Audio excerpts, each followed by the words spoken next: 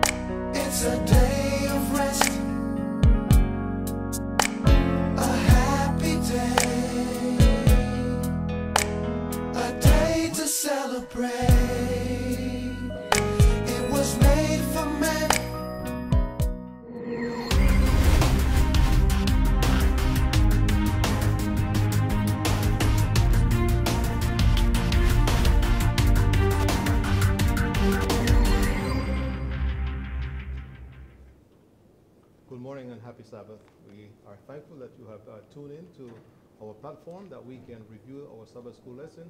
And to those of you that are here, we welcome you. Thank you for participating, for coming. Without your presence here in person and without you online, we won't have a Sabbath school. So we thank you once again for your presence. So now at this time, we just want to have our opening prayer and we will start the review of our Sabbath school lesson. And we are praying. Our God and our Father, we thank you for what you have provided for us. We thank you for life that you have given us. We thank you for forgiveness through the merits and the blood and the life of Jesus Christ. And now, Father, we pray and we ask for your Holy Spirit that he will come, open our minds, impress upon our minds truth, and most importantly, give us that obeying spirit to follow what you have taught us. For we ask it in Jesus' name. Amen. Amen. So this morning we are reviewing the seal of God and mark of the beast, part two.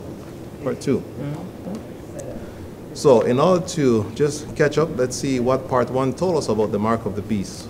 Who remembers something about the mark of the beast, part one? It's a system. It's a system, yes. Oh. That's very important because sometimes we associate people with the system, just like we associate behavior with a child. For example, growing up, I remember hearing, You are bad, whenever we did something bad. But the idea should have been, Your behavior is not appropriate. That's what they should have taught us. Mm-hmm. And they should have said, You are a good person. However, what you did today was so and so, it did not be, whatever it was be. But we associate everything together, we lump it. You are bad.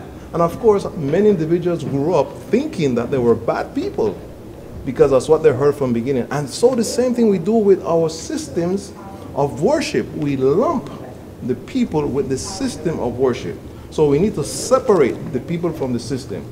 In that specific system, they are good individuals. As a matter of fact, the Bible tells us in a prophetic way, it says, They are my people, come out of her. So if you say, You are my people, come out of her, that means that they can be separated from the system. So we need to keep that in mind. Okay, what else do we remember from the mark of the beast, part one? What else do we remember? Don't be shy. I know you on- online have some opinion, but we can't hear you, unfortunately. It has to be here, those that are in the class. What do you remember?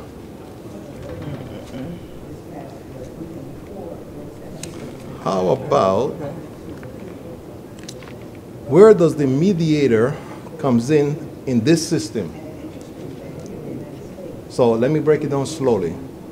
In our understanding, who is our mediator in heaven on our behalf?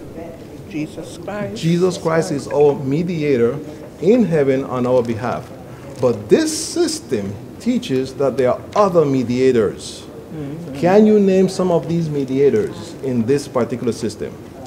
Is, is the, um, I know the main one is the Pope, and then uh, and also the priest because if, when they when you go to confession, the priest stand like Christ because you're only supposed to confess to Christ, but then you, you confess your, your sins to the priest and he actually forgives you. Okay, so in That's this system, says. in this system, the priest has the power Takes on that power. to well, I'm just going by what they say first. Yeah. In this system, the priest has the power to forgive man his or her sins. Does the Bible teach that? No. No. Okay, so we agree. The Bible does not teach that man, another man, whether he's a priest or whatever name he may have, he does not have the ability or the power to forgive us our sins. Okay, so what other individual is presented as someone that is a mediator between man and God in this system? Oh, Mary. Mary, yes. Mary, Mother of God, forgive us, and da da da, that goes on and on. And the, the way it is taught, it is said that when Jesus cannot intercede on our behalf, Mary has the power to convince God the Father. So that means in this system, who has more power than who? Mary has more power than Jesus. But the Bible does not teach that. The Bible teaches that Jesus has the equal power with God the Father. And that Mary, just like every person on planet Earth, depends on the mediation that Christ did to his Father for salvation. Mary, yes, was his mother, but like every individual in the world, her road to salvation was through Jesus Christ. Okay, one more thing. What other mediator do we find in this system? There's another one. And there's um, something else. They did not stop with Mary, but they have all these different saints. All- Okay, so the many saints. of them. So, in biblical terms, what are saints? What are saints in biblical terms? People that have overcome this world. People that overcome this world? I give you another hint. committed sin. I give you another hint. Paul writes to believers and he calls them Saints. saints. Yes. Yes. Blood Yes. wash. Blood yes. wash. Blood wash saints. Mm-hmm. So, in the biblical terminology, a saint is a person that has been baptized, has been given their life to Jesus Christ, and they are followers of Jesus Christ. That's the biblical concept of a saint.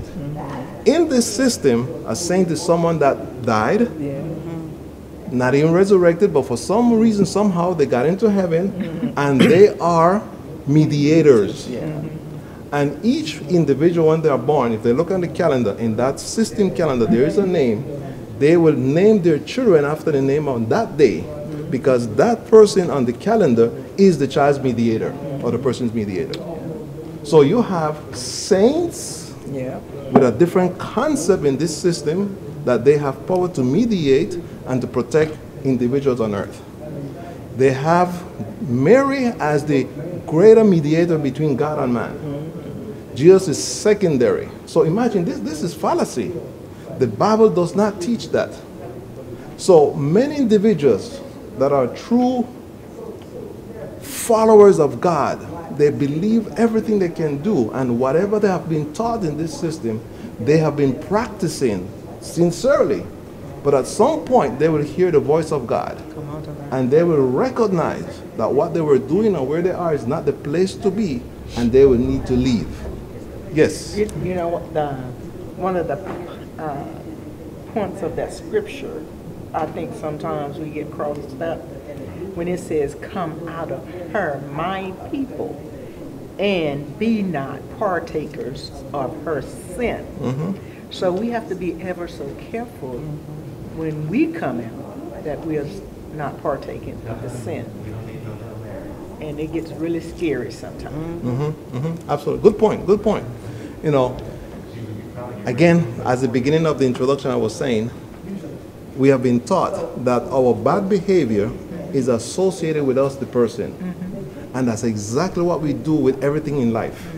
And that's why God has made it clear come out of her, my people. You are still my people. Mm-hmm. Even though you are in error, you are still my people and you need to come out. So that is the blessing that God gives us, you know, and He let us know that in no uncertain terms, terms, who are His people. Even us as Christian believers, sometimes, sometimes we don't follow 100% what He has prescribed to us. We follow 50%, 60%, 70%, and perhaps even 99%. Something is missing. That 1% is missing because it's supposed to be 100%. 100%. So, with that said, now we can, we can jump right into this week's lesson the seal of God, mark of the beast, part 2. Part 2. And our memory verse is Revelation 13:10. Revelation 13:10. And it's kind of a surprising why would that be our memory verse? What does it have to do? It says, He who leads into captivity. Somebody is leading. So we got to look in little parts. He, whatever it is, is leading something into captivity or someone shall go into captivity. So the same thing that this system has done, this system will end up having to suffer the same consequence. That's what it is saying to us. He who kills with the sword must be killed with the sword. So that means that this system utilized the sword at some point to kill.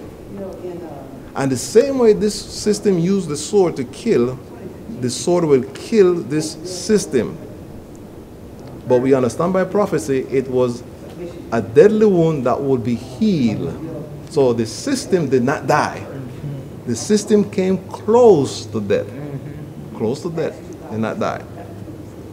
Here is the patience and the faith of the saints. And this is just the part of the text, but it goes on. If we read the whole thing, it gives us cues as to who this system is and what they're all about and how it happened. Question. Yes, question. Um, it says, who leads into captivity shall go into captivity. Who kills with the sword must be killed with the sword. I was thinking, I'm not sure, that um, when it says kill with the sword, it may mean, uh, because we call the Bible as a two-edged sword. Okay. So I was thinking there's word, the same words of the Bible will kill them because in the sense that they're not obeying, obeying the, the words of God. Okay, I, I can go along with that interpretation. Yeah, I can go along with that. Let's remember, using history now, this religious system utilized something to evangelize the world. What did they use and how did they implement to evangelize the world? From what you remember. This is historical facts, not biblical, but historical, and we know that history confirms what we have studied in Scripture. So we are going on the assumption that you have been with us from the very beginning and you know where we're going and who have been identified with it. So bear with us. If you're missing something, then just text us something and we try to answer you next week, okay? But I'm hoping that you've been with us and you know where we're heading with this. Okay. Those of you that are right here, right here.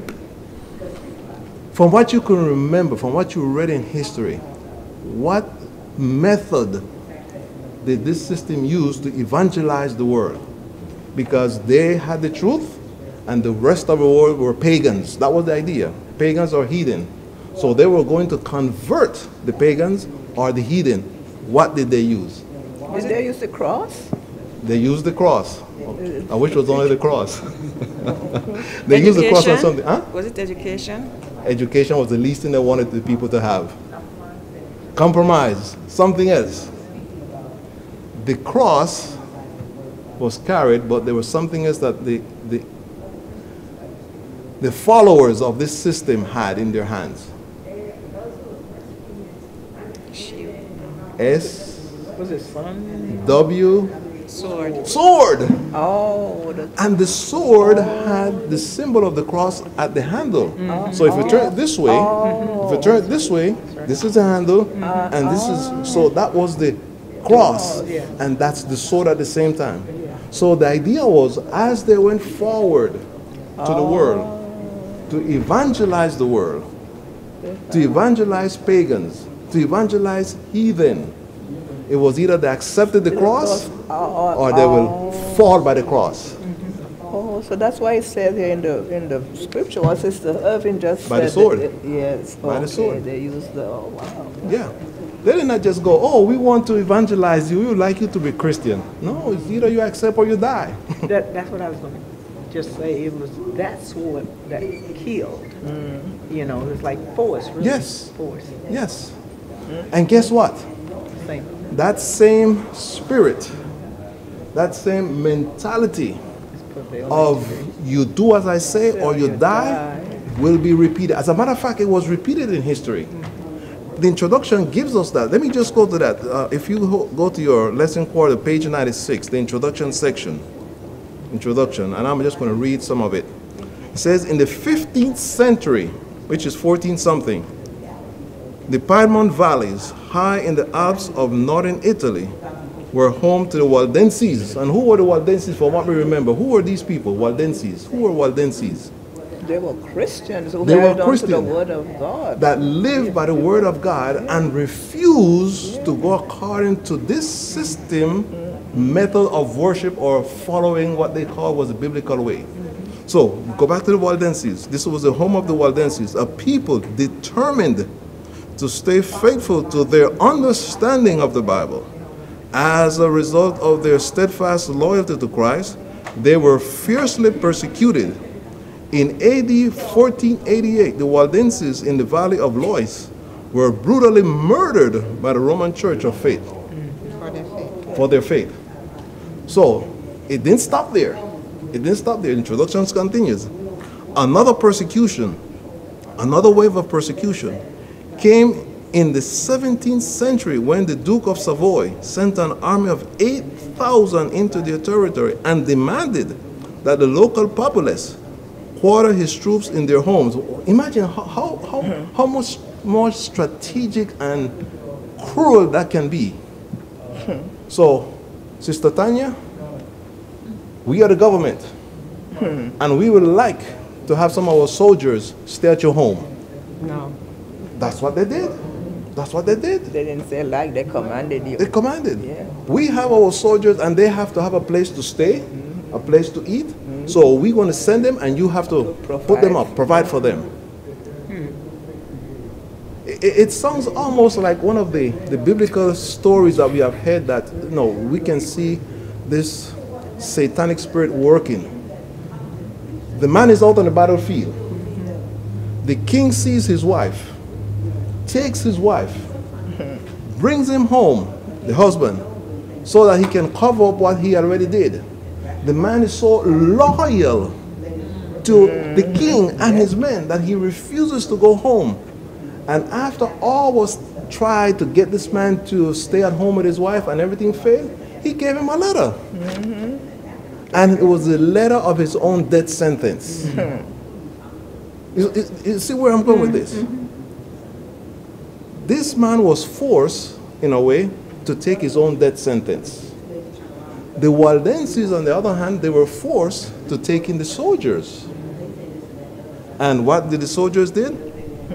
They massacred. Ah, and that local populace quartered his troops in their homes. They did as requested, but this was a strategy to give the soldiers easy access to their victims. On April 24th, 1655, at 4 a.m., a signal was given for the massacre to begin. This time, the death toll was more than 4,000 people. And that was not the only time. There was another time in France also when it happened. The massacre of St. Bartholomew. A whole lot of Christians died. Why are we saying this? Why do you think we are looking at this? But history repeats itself. History repeats itself. That's one. Another reason. Why do you think you know, we have this information before us? Besides history repeating itself, what else do you have? You have knowledge so you can make a uh, Right decision. You have the knowledge so you can make the right decision. And what is the right decision? This to follow Christ. To follow Christ. That is the right decision. Amen, amen. Because the time will come that the plan will be again presented to eradicate every single person that opposes the way the national society and system sees fit to worship. So if we don't ascribe to that, it's going to be the same thing. That will be the ultimate situation. Yes. No, I was going to say we have to practice every day, mm-hmm. you know, abiding in Christ. And we have to choose every day because we That's the are- key word. We're going to have to make a choice. Mm-hmm. Yeah. Even though we have chosen to walk with Christ, mm-hmm. there's going to come a time when we have to choose to continue to walk with Christ. Okay, I'm glad you made that comment. We have to make a choice. Let me make it difficult for you. Yes. You have children. So let's put the situation that the child has a handicap. The child is an adult, 30, 40, 50, and they have a handi- handicap. And they say to you, We have noticed that you have decided not to worship on the first day of the week, and it's not going to be called the first day, it's going to be called the seventh day, Sunday. We have noticed that you have not decided to worship on Sunday, the seventh day, according to the scriptures, which is according to man in this case. We're going to give you one chance. Either you conform, or we're going to kill your child in front of your face. What will your response be? Hmm. See, I'm not making it easy for you. I I know, I know. Yeah, yeah. We want to believe That we Yeah. that we will say, go ahead, knowing that our child is in the hands of God. Mm-hmm. That's what we want to believe. Mm-hmm. But we don't know if we are there. And that's why we need to make daily choices and ask God to help us to have that kind of a faith of Jesus Christ that even if the ultimate thing is death hmm. of our loved ones or of ourselves. history repeats itself. And by God's grace, one or two things going to happen. We are going to be alive when that time comes, or we might be resting in the grave when that time comes. I, am sorry to put it so graphic, you know. I, am sorry to be a, a, a doomsayer, but the scripture tells us these things are about to happen. And the reason you and I and us are hearing, discussing this, is so that we can make up our minds that when we know, when we come to this point, we already have made choices in favor of Christ, that the choice will not be an, a hard one, it will be an easy choice. But if we don't make those daily choices, when that time comes, it's going to be very difficult. Somewhere in the great controversy, it says that those who do not practice their faith in God, when that time of terrible persecution comes, it will be almost impossible to follow God. So let me give you another gruesome situation. You still have your parents alive. Your children and you have decided no matter what happens, we're not going to give in to God. No matter what happens even if it's death. We're not going to give in to God. I mean, we're not going to give in to the system. Thank you. Uh, Thank you for the correction. I'm Not going to give in to the system. And your children have agreed, yes, we, we, we want to, we want to be faithful to God. And you have decided to be faithful to God. But now we're talking of your parents, hmm. your children, grandparents. And they say, we're going to give you an example, hmm. a one time deal. We're going to start with one eye of your grandmother and you're going to witness it. And your grandmother is going to see for the last time what you look like. As a matter of fact, as a matter of fact, biblical comments tells us that this happened just before the last captivity of the children of Israel. The king had refused to pay his tribute to the Babylonians, to the Assyrians, to the Assyrians. And he said, okay, the last thing you will see are your children plucked his eyes out. And this is biblical. This is in the Bible. This was the enemy of God because his people had rebelled against him over and over and over and over and over to the point that God said, okay, you, you're going to be punished. So the gruesome examples that I'm giving, they are biblical and they have been recorded in history and they will be repeated. Yes, sir. We had a Coach. who was sitting Just watch the basketball players. around How do you practice? Absolutely.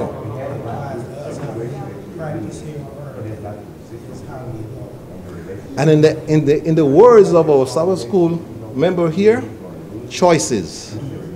The practice are the choices. Every single day. Every single moment. You know, we go through life almost on automatic pilot. Mm-hmm. You know, we go to work, we start up the car, you're driving, and before you know it, you're parking in your car space. You were not thinking, I gotta make a right, I gotta come off of this exit, I gotta wait at the stoplight, because you did it so many times that is an automatic pilot. You got in your car, and before you know it, you park in the parking lot where you work. That's how our response to God should be. As we make these choices every single day, it becomes automatic in our life that it doesn't matter what happened, we make the choice in favor of God. And that's where, yes.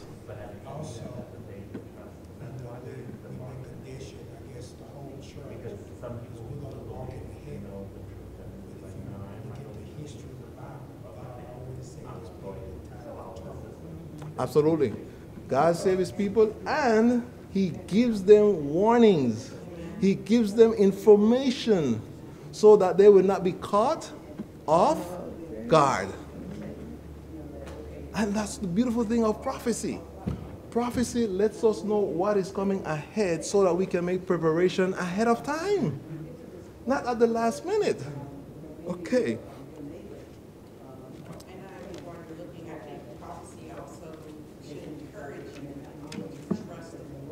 Yes. We've seen things come come to pass.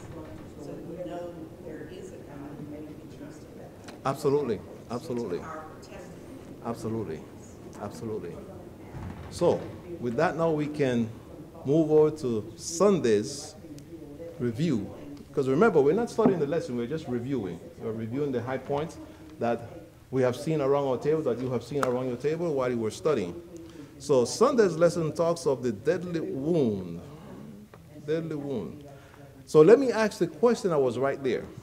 It says, read Revelation 13 5, Revelation 12 6 and 14, and Daniel 7 25. The question is, how long will this power dominate the religious landscape in the previous century? How long they're going to have this power? How long they're going to have this power for? 1260. Hmm? Pathetic. Pathetic. I don't hear you. Oh, 1260 years. Yes, thank you, thank you. This power will, will have rule, rulership for 1260 years. Now, again, as we have looked at history, in the Old Testament, in the book of Daniel specifically, it gives us at least seven distinguishing marks that we can know who this system is. It's not like a random thing. In the book of Revelation, we have at least three different places that give us distinctive mark of who this system is.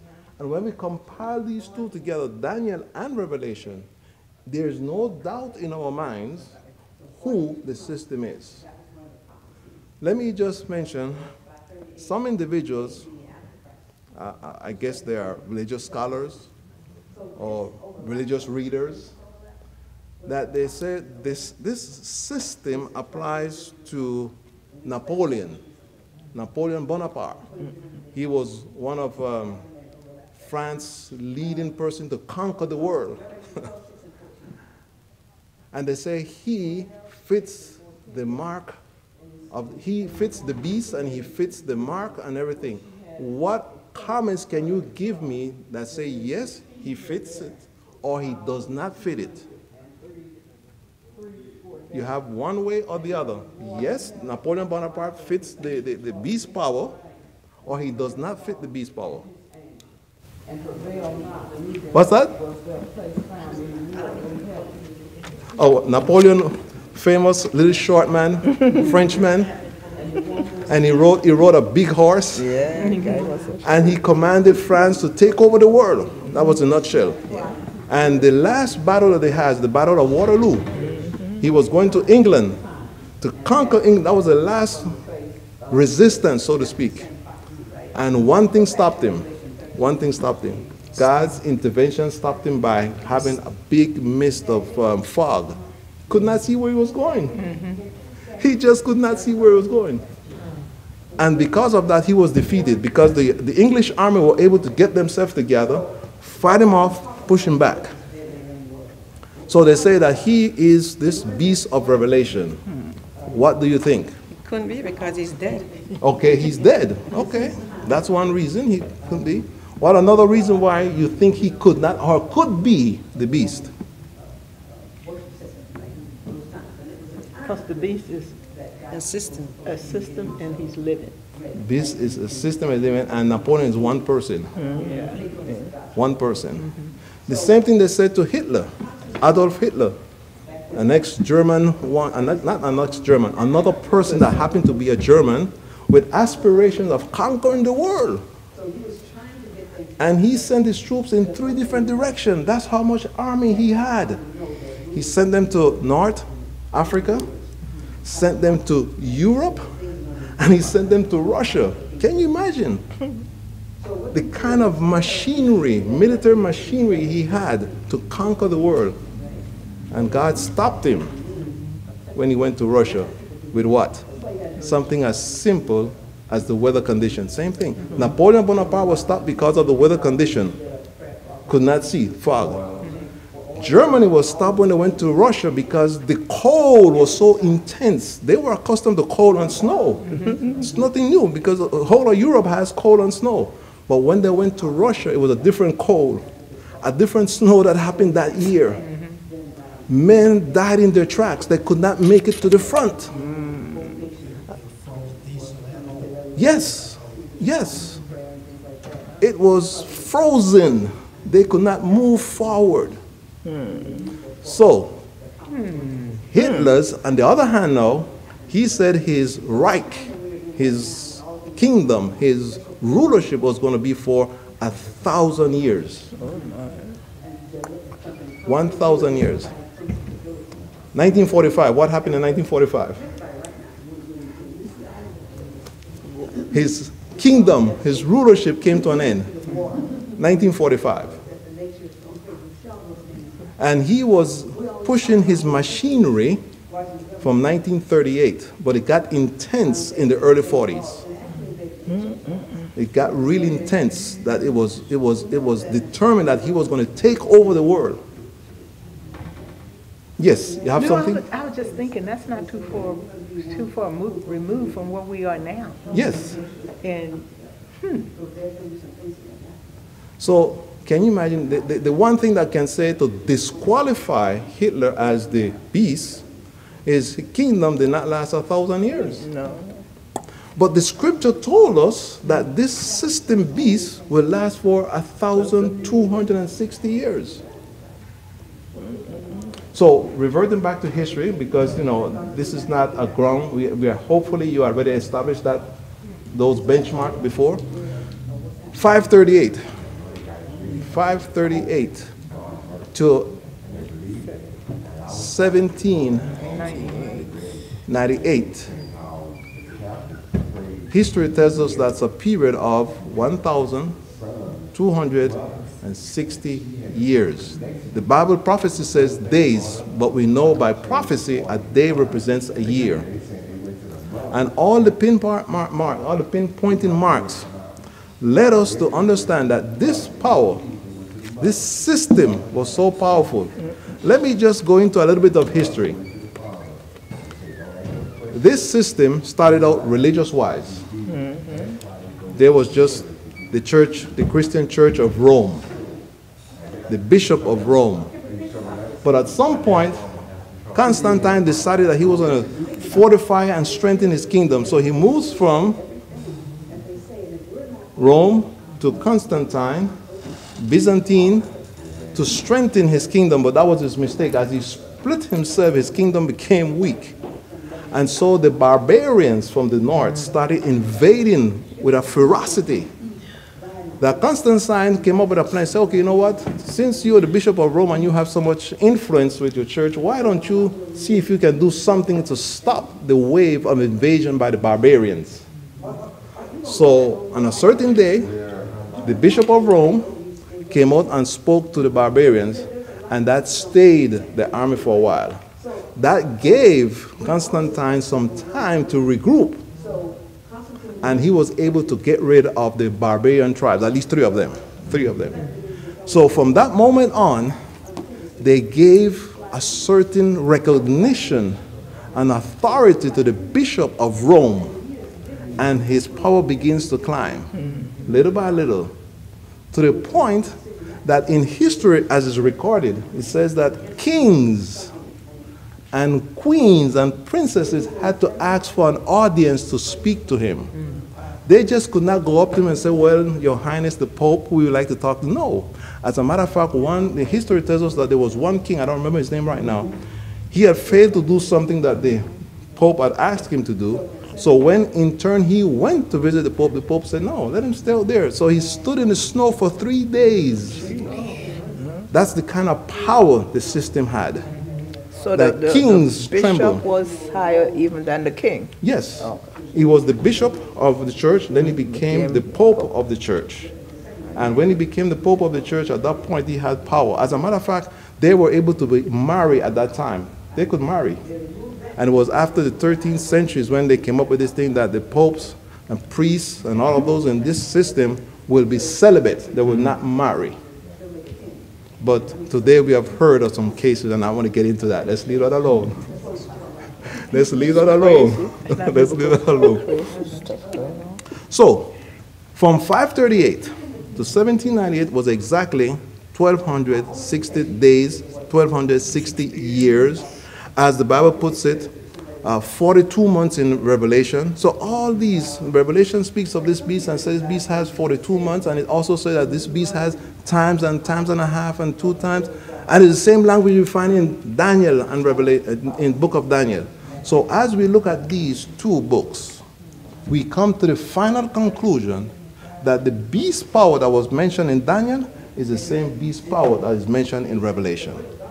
So that is hopefully you already got the background before we got into that. If you don't have it, just you know, text us and we try to explain to you a little more.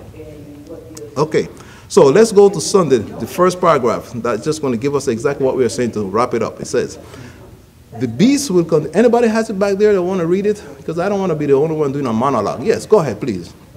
The beast will continue for a specific duration of time in history. In symbolic time prophecies, a prophetic day equals a literal year. In Numbers fourteen thirty-four, we read for every day a year, applying the Bible principle of counting a day for a year. Again, God says, I have appointed thee each day for a year. This principle has repeatedly proven itself accurate in interpreting biblical time prophecies, such as the seventy weeks of Daniel 9, 24 through twenty-seven. Calculating the time period mentioned in Revelation 13, 5, 42 months, with thirty days in a month, we come up to twelve hundred sixty prophetic days, four hundred years. The ancient calendars regularly had three hundred and sixty days. Okay, so we stop right there. So that sums up what we have been saying. You know, it sums it up. It sums it up nicely, you know. And one point that I, I just need to emphasize before we move on, remember that in the context of the time when this prophecy, when these prophecies were written, the calendar had 30 days, not like what we have today. Today we have 30 days, 31 days, 28. 28 days, 29 days. But back then, in the whole concept, you know, for hundreds and hundreds of years, their calendar only had 30 days. Only had 30 days. So that's something if somebody say, oh, well, we have 30 and 31. Yeah, that's true, but in the context, we've got to look at where the context comes from. The context comes from 30 days. Okay. Any comment that you want to add at this time before we slip on to the next page? No? Okay. Let's go to Monday and see what Monday tells us. The falling away. And again, we start with the scripture and the question. Second Thessalonians 2, 3, 4, 9 to 12. What does Paul predict about the last days? What identifying marks does he give for the beast, the Antichrist power? I repeat the question again. What does Paul predict about the last days? So Paul comes before John in the Isle of Patmos. So if we want to put it like you know pieces, Daniel comes in the Old Testament, then we have Paul writing in the New Testament, and then we have John putting the picture together. So if we put all of these three together, there's something interesting. So the question is, what does Paul predict about the last days? What is going to happen in our time? What identifying marks does he give for the beast, the Antichrist power? What are your answers? What did you come up with? What did you find then or now? Either way. Sit as God in the temple. Okay, so one of the identifying marks is that this religious power system sits in the place of God. And we mentioned earlier that this system says that a man can forgive another man his sins. And the man that has the ability and the power to forgive the sins is known as a priest. The Pope also has the same power, ability to, uh, to forgive sins. So, that's one of the things. That's one of the identifying, identifying marks when it says sits in the place of God. They are doing things that only God can do. That only God has that prerogative. Okay, what else? What else do we find? He's a deceiver. He is a deceiver. He is a deceiver. And the deception comes in all the different theological misconception, unbiblical teachings that have been passed on to us. Yeah, that's, yeah, that, that's, the- that- that is absolutely correct. And that's why when the statement is made, uh, be not partakers of her sin, when we come out, mm-hmm. we have to make sure that we are not being partakers. Absolutely. Amen to that. Unfortunately, mm. going back a little bit in history so we can tie these pieces together, When Martin Luther King, Martin Luther King? Martin Luther.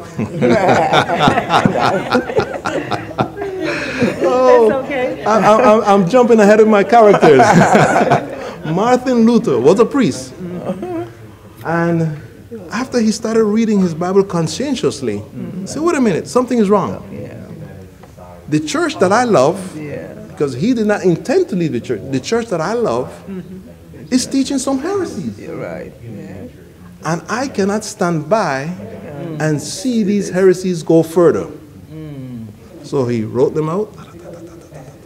When he finished, there were 95 things that he found that was wrong with what his church was teaching.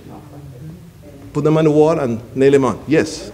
It's amazing, like, what I understand, I'm not official, but I'm getting to, that, um, people weren't allowed, it wasn't in their language, in the Bible, so they didn't know about it, so they took what they were on the priest or were said at their word.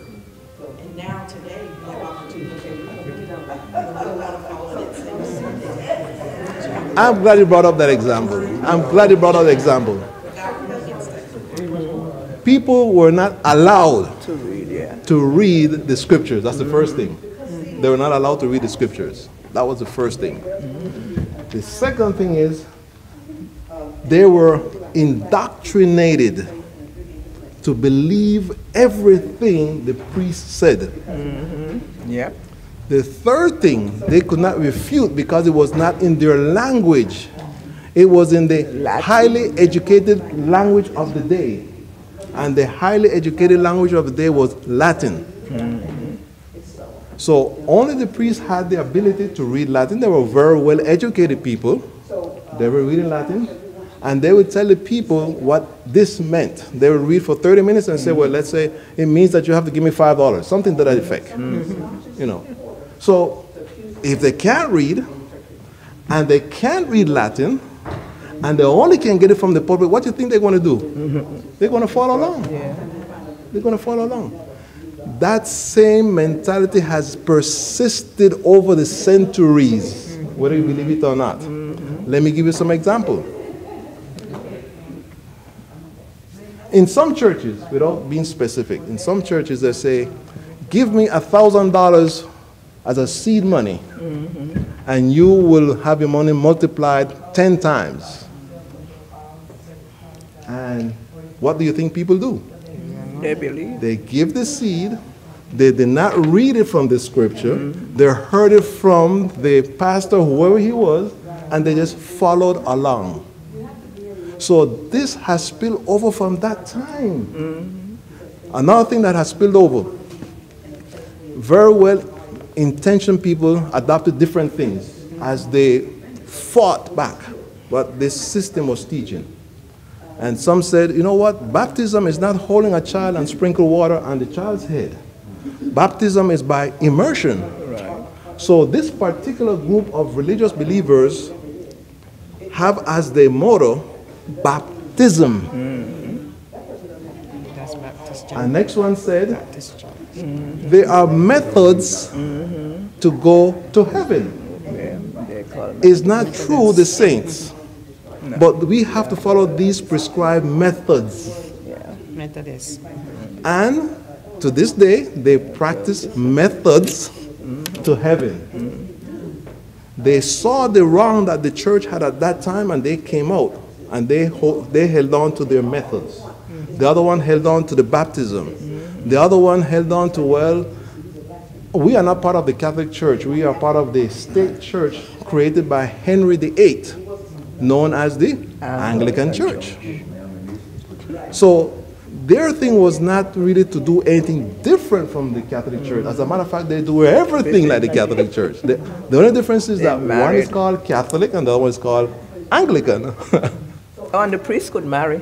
and, and the priest can marry. This is an exception to the rule. And the reason the priest could marry was because Henry VIII was the head of the church and he was married. so we find that even though they, they, they- their eyes were open and they saw many of the errors of the church, by the same token, they kept some of the errors with them.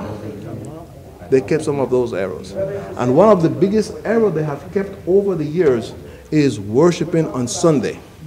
That's the biggest error they have kept. Worshiping on Sunday, yes. In the state of the dead. State of the Yes, dead. As a matter of fact,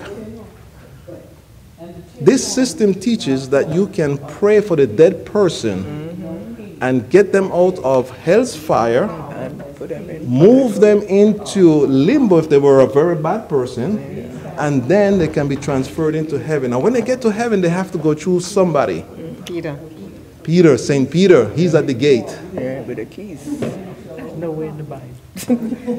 Well, you say it's not in the Bible, but they have a biblical principle that they apply erroneously. They say when Christ said, Peter, upon this rock Yeah. I establish my church. But what they fail to realize is that when the scripture says Peter, unfortunately, not everybody can read Greek and Hebrew and all of those things. Jesus was referring to Peter by his name in as a little rock. Peter. So if you're the little rock and my church is on you, we have to understand something different. Peter failed, and then Jesus spoke of he is his body will resurrect and he will be like like um, Jonah three days in the belly of the whale. And so when you put all of those things together, we know that it could not be referring to Peter as the foundation of the church. The foundation of the church has to be Jesus Christ. So unfortunately, some of these things, you know, the error goes on. And not only in the Catholic Church, we find that Peter, St. Peter, as they call him, is standing at the gate to open to let them in or not. But we find that in the other church systems, they put the person into heaven. The person just goes from death, from life, straight into heaven. And the expression commonly, not to make any fun, but seriously, you know, the expression we have heard so many times is that mama is looking down. Mama is smiling.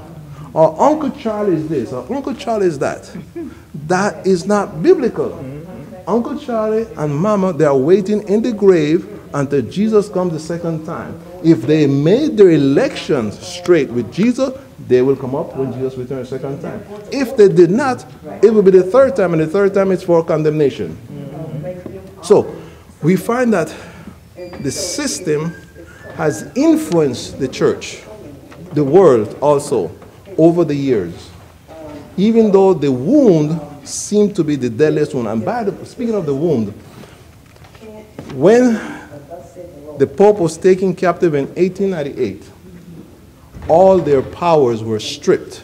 1798, thank you, 1798. All their powers were stripped. They had military power, they had religious power. And the way they had the military power is that they had the power indirectly. They will tell this kingdom to do this and that kingdom, that was their indirect military power. When it came out to the church, they had direct power. So in 1798, that came to an end. But then in 1929, somebody by the name of Mussolini in Italy said, you know what? We- can, we can give back the church their properties and everything. so the church got a territory, a small territory. They got their religious power right in the, almost in the heart of Rome. And the interesting thing is that, if you don't know, they have a military system, they have their own coins, their own postal service, their own embassy, and they send ambassadors. Which church in the world has that? No, I, I'm just saying this system has that. Yes. But besides this system, which church do you know that has an embassy, has its own postal system, has its own monetary system, has its own military guard? Mm-hmm. Which other church? Name any church. I don't know. Mm-hmm. Just to mention a few, not to pick on any, but just for a few. Um, Pentecostal church, I don't know they have a system that have their own monetary system.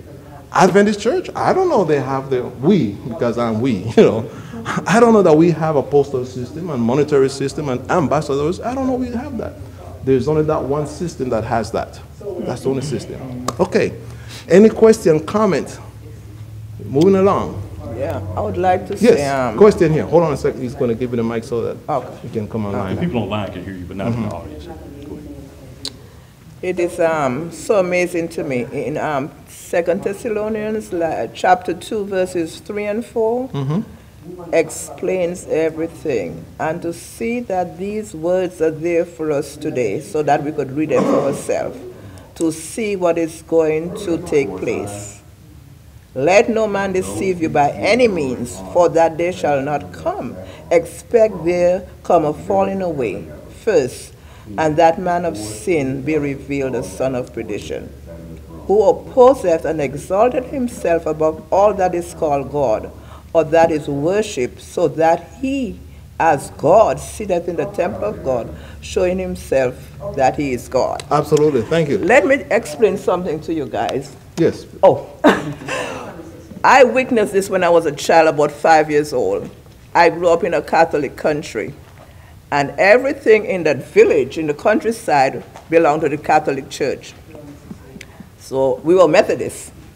So, you know, the school is there, is the, the building belongs to the Catholic Church, and the church is right here. So I go into the church, and I see on the pulpit, the altar, the Bible. They had a big, big Bible, and it was chained to the altar. Yeah. And that's what I saw when I was around five years old. And this is And I 21st remember it to this day. And this is in the 20th century. Yeah. This is in the 20th century. So go back mm. to the 13th, the 14th century, the same exact thing. Same exact thing. The Bible was chained to the pulpit mm. so that nobody could take it from there. And the only person that had authority to use the Bible was the priest. And if they had to move it, then they had their own key to unlock it and move it around. You know, but other than that, it was chained to the pulpit. Yes. Okay. So Second Thessalonians tells us that the falling away is going to come before we recognize the man of perdition. So he was actually speaking of the power that is behind the different systems in the world that opposes God.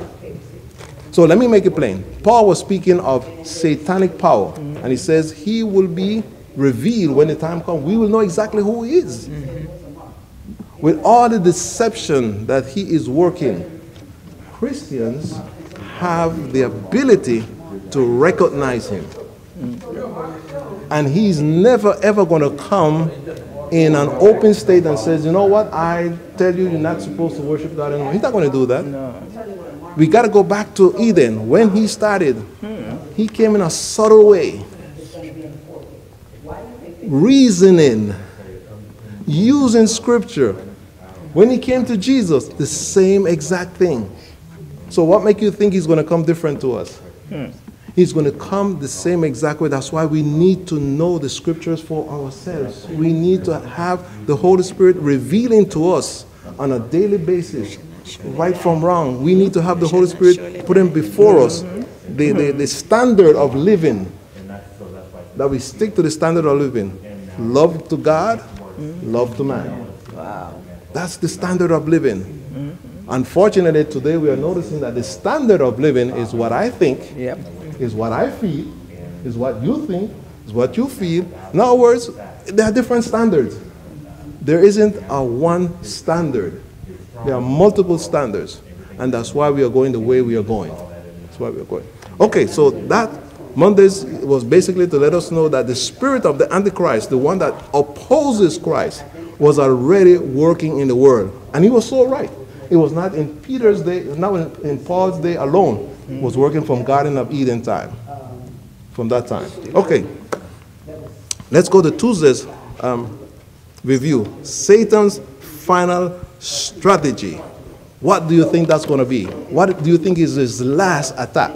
No, like every good military person, or like every sports person, like we heard, when you get your team together, you have a plan.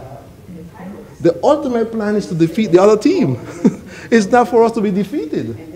We are going to defeat the other team. That's the ultimate plan. And how are we going to do it? By A, B, C, D. Whether it's on a chart, whether it's on the ground, whether it's in a book, that's the strategy. But the objective is to win the other team.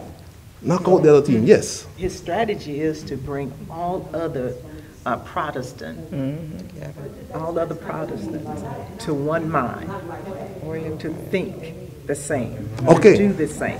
Good. So his strategy is to have every Christian believer to have one mind to worship him by whichever means necessary. That sounds like Machiavelli. And that's scary. And we are not excluded. Yeah. So let us let us not think, as the scripture says, don't you think that you're standing while you will fall. Yeah. In other words, don't be overconfident. You know, um, I, what I'm going to say now, I know it may touch somebody's the wrong way, rub their elbow, step on their toes, or something. But I get kind of a leery when I hear Christians says, Satan can't do me nothing. Bring it on, Satan. Yeah, yeah, yeah. You- You're right. I, You're have, right. I have a little problem with that. You're right. Why would I want to invite him to fight me? Yeah. Yeah. I am mortal. We're no match. I have not reached a hundred years. That's the maximum I may reach. He has been around for at least six thousand years. What make you think that he doesn't know every single thing that I can do or attempt or, or pull off? Let me give a practical example. And as I'm looking here, I think most of us have children. And those of you that don't have children, you have been a child at some point. Mm-hmm. Lord. And you came up with a story. and before you finish the story, your parent finished the sentence for you. Is it because they read your mind? No, they, They know you so well that they know what your next move's going to be. They know what the next word you're going to say before it came out of your mouth. And that's Satan. Because he has been along, around so long, he pretty much knows what we are thinking. He can't read our minds. But by certain behavior or certain stance that we do or pose, he already figured oh, this, this one is going for the cake. There's no question about it. so let, let me put a little more chocolate on it. So that's the thing. So his final strategy is to get us to separate ourselves from God. That's the final strategy. If we separate ourselves from God, guess what happens? Let me give you a terrible, let me give you a terrible example in the sense that it's horrible. The lion is going to hunt. It's time to eat. And I, I'm just saying what I've seen on documentaries because I'm not a lion, as you can tell. and he begins to walk softly. He sees a herd. He stops. He watches the herd. He just doesn't go after it. He watches the herd. And he figures, ah, there's that one over there. Kind of a lonely by himself. For whatever reason, young, weak, tired, injured, but it's by himself. or stupid. no, for whatever reason, that one is out there by himself. So he's going to go around Yeah. He's not going to go directly. He's going around. Then he rose. Or when he rose, everybody knows the lion is around. And everybody begins to run. And he's going to run in such a way that he's going to target that one that's out there. And he's going to go after him. And when he gets after him, it's a good meal. Yeah, that's over with. It's a good meal. It couldn't have been better. That's Satan's strategy. That's why scripture says that he is like a doing what? seeking to the devourer. And who is going to be that meal for today? Not us. By God's grace, not us. By God's grace, not us. Okay? Because the word tells us to resist the devil. That's right. Amen, In James, amen. James tells us that we must, re- there's something that we need to do, but we are not going to resist the devil in our strength. That's where we fail. It's why we all need each other as well. That's why Yeah, we was need each other. thinking that. Yes. Uh, just strength in numbers, even from the beginning with Adam and Eve, when you look there, they needed to be together when the enemy came. Eve was away from them. I'm glad you said that example. You know why? Because we have some modern day Eves. Uh, let me give an example of how it works. It's a funny one. It's a funny one. Adam and Eve go to the supermarket. Adam and Eve have a plan to purchase food. Yeah. And as they start all of a sudden, Adam looks around, Eve's gone. She's nowhere. Eve goes on to shop somewhere else in the supermarket. And guess what? Adam finished shopping, but Eve is not finished. Hmm. Eve got caught by the lion in the back somehow. and Eve spent more than what they had planned to, spend, to save, to, save to, hmm. to buy. Hmm. Now, it's funny, but that's the reality. As Christians, we need to be close to each other. We need to pray for each other. We need to uphold each other. We don't need to wander away because as we wander away, line is, ah, that's a free meal over there. So remember, the strategy is to separate us from the will of God. So, with that said, we have come to the end of the review of our Sabbath school lesson for this morning. Time has flown. We were having fun. I was having fun. And I hope you were having fun too. So, next week is another important lesson. Let us ask God to help us to apply it. That's the most important thing.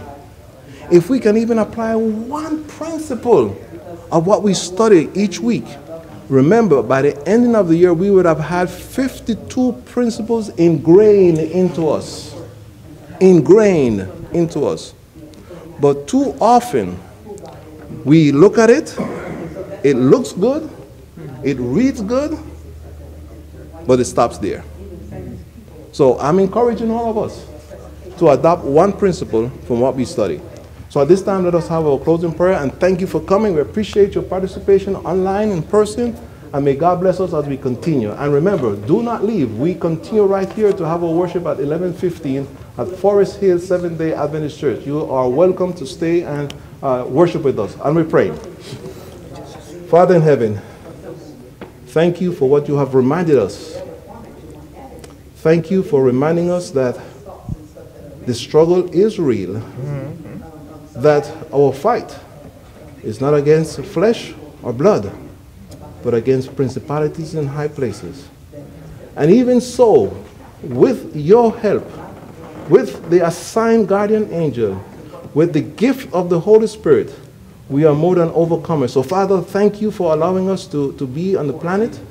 Thank you for your promises of the Holy Spirit. We claim them and we ask that by God's grace, we will be ready for the second coming of Jesus Christ. In his name we pray. Amen. Amen and amen. Thank you.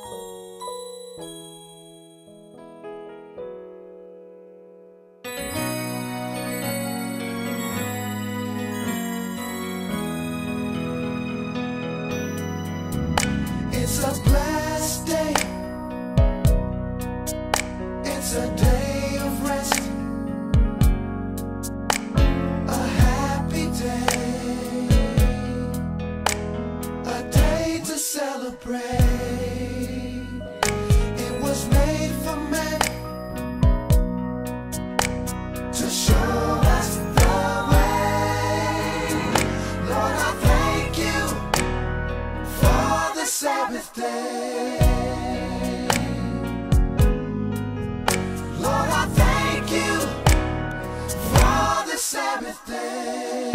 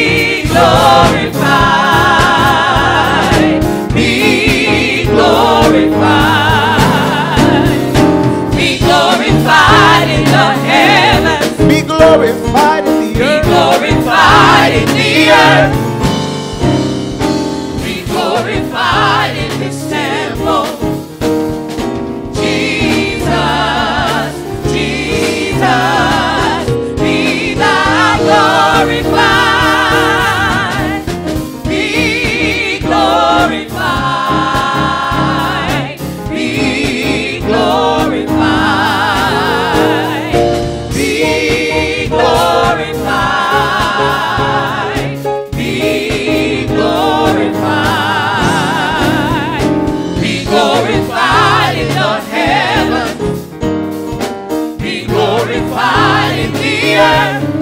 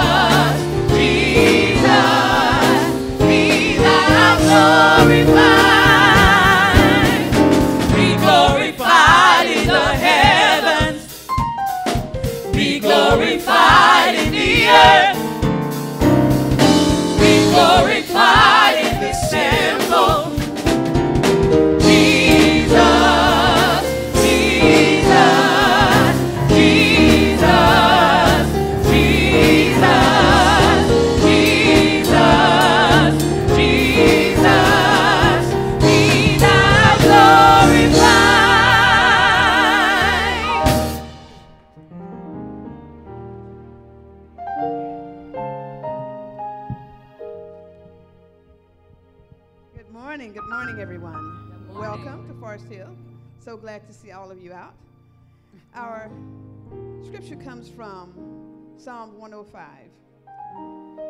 And it says, Oh, give thanks unto the Lord. Call upon his name and make known his deeds among his people. Sing unto him, sing songs unto him. Talk ye of all his wondrous works. Glory ye in his holy name. Let the heart of them rejoice that seek the Lord. Seek the Lord in his strength. Seek his face evermore. Remember his marvelous works that he hath done, his works and the judgment of his mouth. O ye seed of Abraham, his servant, ye children of Jacob, his chosen. He is the Lord our God. His judgments are in all the earth. He hath remembered his covenant forever, the word which he commanded to a thousand generations. Let's pray. Father, thank you so much for an opportunity again to continue to worship in freedom. Father, we know that time is short, Father. So, Father, whatever we do, we want to lift up your name. And so we invite your presence in, and we invite the Holy Spirit in, Father, as we uh, worship your name and sing praises to your name. In Jesus' name, amen. Amen, amen. So, if you stand with me, we will do the fourth commandment found in Exodus 8. I'm sorry, Exodus 20, verse 8 through 11. Exodus 20, verse 8 through 11, and it says, Remember the Sabbath day to keep it holy. Six days shalt thou labor and do all thy work. But the seventh day is the Sabbath of the Lord thy God. In it thou shalt not do any work, thou nor thy son, nor thy daughter, thy manservant, nor thy maidservant, nor thy cattle, nor thy stranger that is within thy gates. For in six days the Lord made the heavens and the earth, the sea and all that in them is, and rested the seventh day. Wherefore the Lord blessed the Sabbath day and hallowed. And here at Forest Hill, we have a vision statement that's based on 2 Corinthians 13 14. And it says that the vision of the Forest Hill Seventh day Adventist Church is to be a healthy church where the grace of the Lord Jesus Christ, the love of God, and the fellowship of the Holy Spirit is revealed through us. Thank you. You may be seated.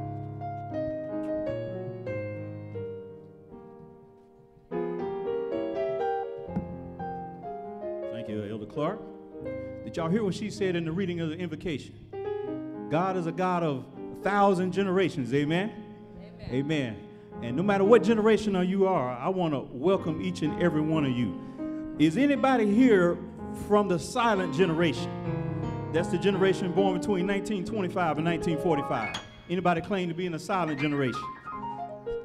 I see, I see a few, I see a few, I see a few. There you go. All right. Anybody here from the baby boomers, born from 1946 to 1964? Any baby boomers in the house? Baby boomers. I see some baby boomers, see some. All right. Then comes the baby busters or Generation X, born from 1965 to 1980. That's my generation. Anybody here with me? Generation Generation X. Then we have the millennials or Generation Y, born between 1981 and 1996. Do I have any millennials here? The next, Generation Z, born from 1997 or 95 to 2012. Anybody here in Generation Z? Yes. Generation Z. All right, I see some. I see you. Now, what generation comes after Z? Who knows? Alpha. That's right. Generation Alpha, born between 2013 and 2025. Generation Alpha. Where you at? Generation Alpha. I see some in here. Some of them be down for children's story a little later. No matter what generation, we want to welcome each and every one of you. We also want to welcome, welcome our visitors. Visiting with us, we have Jalen Walton from Memphis, Tennessee. We also have Emerald Hammonds visiting us here from Fort Worth via Little Rock, Arkansas. Wave your hand. Wave your hand. So good to see them. My fellow Arkansans. All right. Also, we want to welcome Elena today. Elena with her daughter Justice Faith, who is actually three today. This is her birthday. And Claudia Elena, Justice Faith and Claudia Elena. And we want to welcome each one of you. We also want to welcome Sebastian Tay and Sister Mill Dyer. Wave your hands. So good to see them. They're, they're, they're here today. All right. So good to see each and, and every one of you. Uh, at this time, we're going to bring up, uh, well, as we bring up Brother Irvin, I want to wish every father a happy Father's Day. If you're a father, please stand. Please stand if you are a father. All right, let's give these fathers a hand. Amen. So good to see each and every one of you. And I pray you got something from the women's ministry as you came in this morning. Amen. This time we're going to, uh, before we bring up our pastor, we're going to let Brother Floyd Irvin give us an update. Good morning and happy Sabbath. So I just saw some men stood up recognizing that they are men and it's a men's weekend. You're a father. So I have something for you. This afternoon, if you come back to church around 2, 2.30, um, all those fathers that are here, we can um, show you some, some things how to improve your health. And for others that want to improve their health, you're welcome to come anytime between 2 and 5 this afternoon. Uh, make sure it's you come today because it's a Sabbath day. It's free for you. If you come tomorrow, it's going to be some fee involved. So just take advantage of the opportunity. We want you to be a healthy person, healthy fathers first, because it's Father's Day weekend, right? And then the other individuals, male or female, young or old, or in between, you can come and experience something to improve your health. Please be here on time between 2 and 2.30 and you will not regret it. Thank you for your participation and may God bless you. Pastor, it's your time.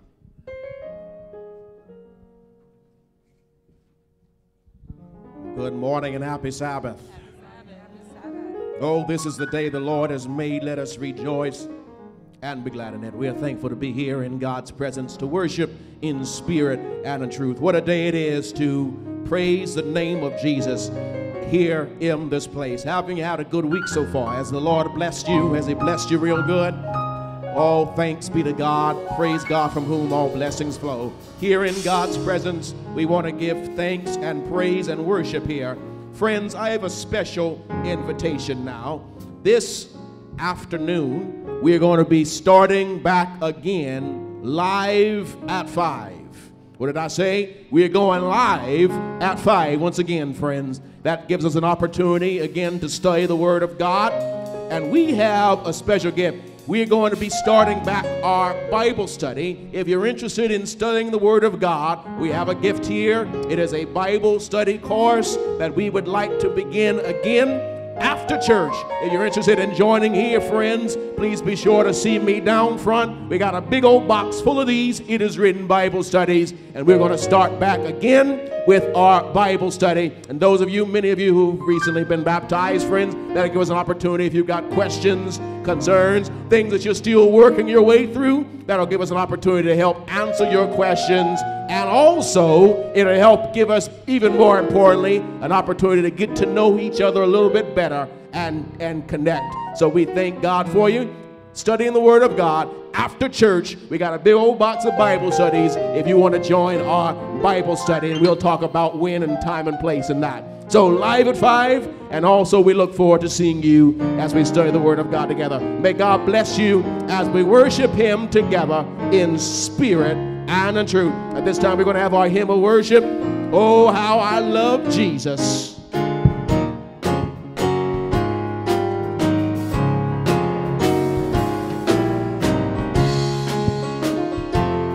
Let's stand all over the sanctuary and sing that together.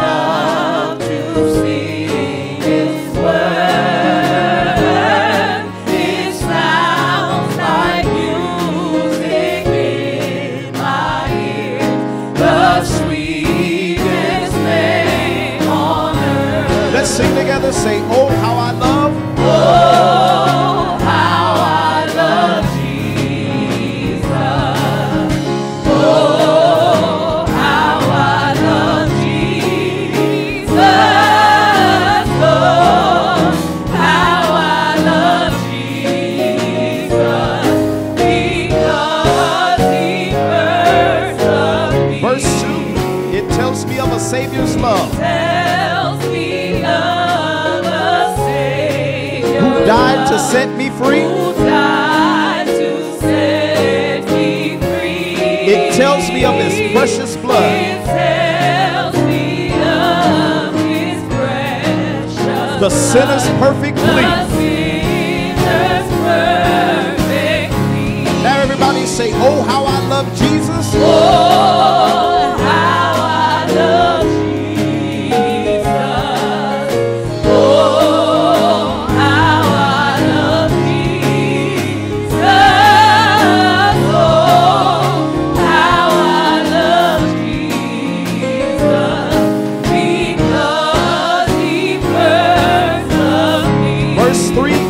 Tells of one whose loving heart Tells of one whose loving can feel my deepest woe. Feel my deepest woe. Who in each sorrow bears a part In each sorrow bears a that none can bear below.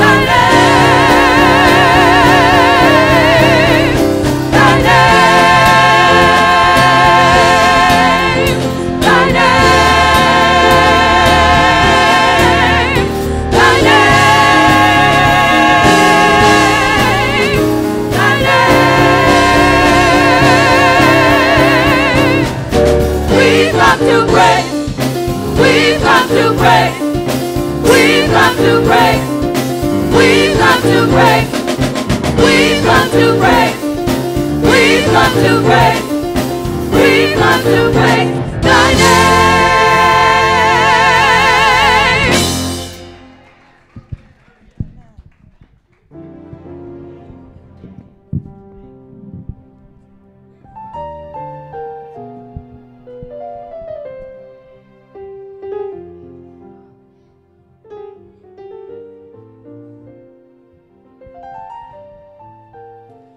Many of you know that we serve an awesome God this morning? He is great and greatly to be praised as we come into God's presence here today. We thank you for all of his many blessings. And friends, I believe in the power of prayer. And because I believe in the power of prayer, I want to encourage you. The Bible says we ought to pray without ceasing. Friends, what does that mean? Prayer is not an event, it should be a lifestyle. It means I wake up in the morning with a prayer on my lips. I'm on my way to work, I've got a prayer in my heart. I'm coming back from school, I've got a prayer. Before I before I open up my mouth to eat food, I got a prayer in my heart. Friends, prayer is not an event, it ought to be a lifestyle. We ought to pray without ceasing. Pray for your families, pray for your church, pray, pray for your sons and your daughters. I believe in the power of prayer. You have struggles and adversity in your life, prayer changes things. You've got difficulty, you're sick and can't get well. Prayer changes things. You're looking for a job. Prayer changes things. I don't know how God's going to work it out, but I know that God can make a way out of no way. That if you call the name of Jesus, there's power in the name of Jesus. There's deliverance in the name of Jesus. There's protection in the name of Jesus. There's direction in the name of Jesus. If you call the name of Jesus, He has a way of showing up and showing out. But friends, you have not if you ask not. So you got to open up your mouth. First, if you call in prayer, you've got to first believe that He is and that He can do. And through the power of your faith, the only thing holding God back from your breakthrough is your power to believe. God can. The question is, do you have faith?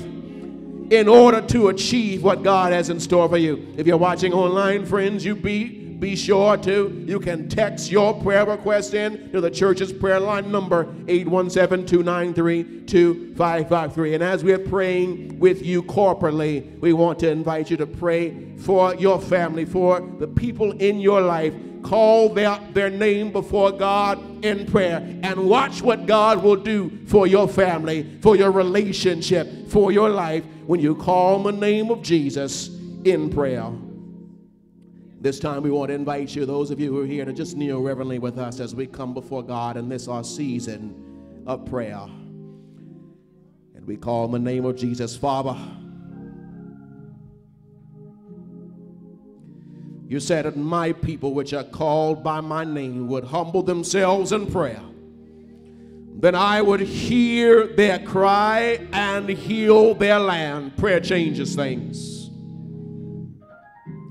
Because when I was lost, you found me. Prayer changes things. Somebody here this morning would be sitting in a prison cell, but prayer. Somebody would be in an unemployment line, but prayer. Somebody would be strung out on drugs in a gutter somewhere, but prayer changes things. The Bible said the Lord will give his angels charge concerning those that love them, him. And so, Father, in the name of Jesus, right now, Lord, we call on you. We call on you, Lord, to be with our families, Lord.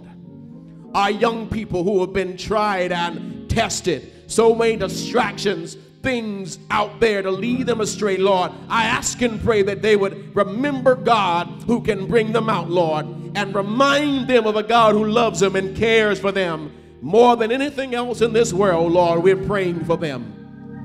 I'm praying for all the marriages here, Lord. It's not an easy thing to take two people of different personalities and different walks of life and bring them together. May the two become one. So, Lord, I ask and pray that you would help us to set aside all pride and bitterness and, and, and, and headstrongness. That we would put the needs of the family above even what we want for ourselves. I pray for families, Lord.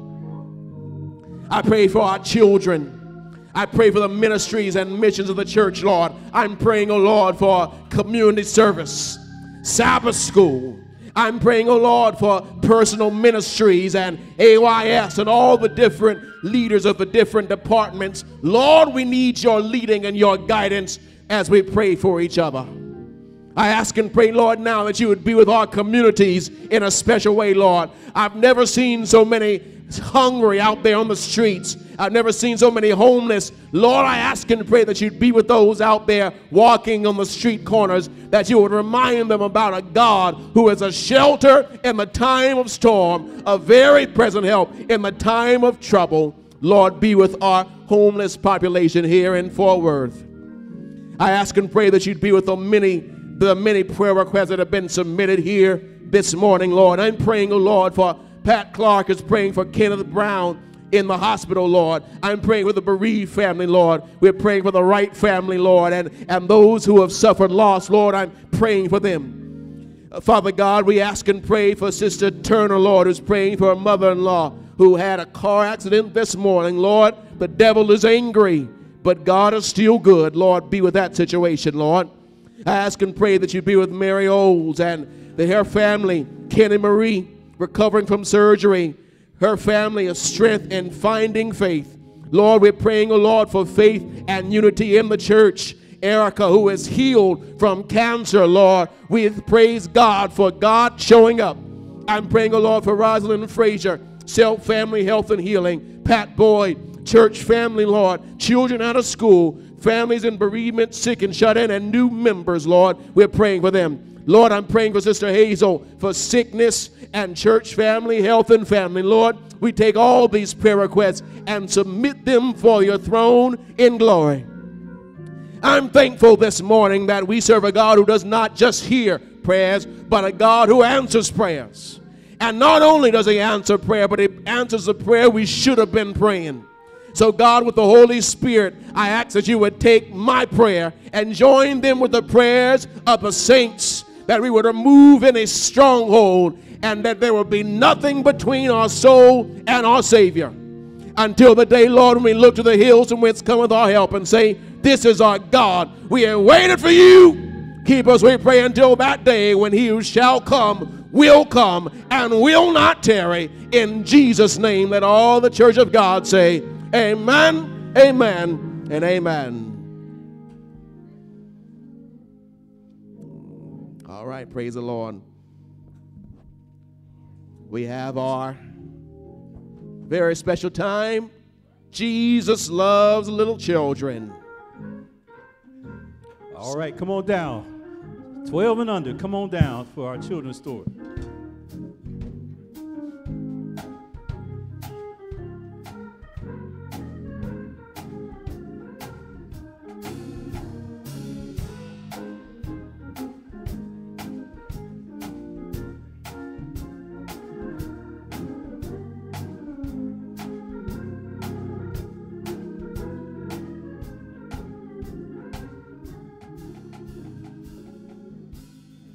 Morning, boys and girls.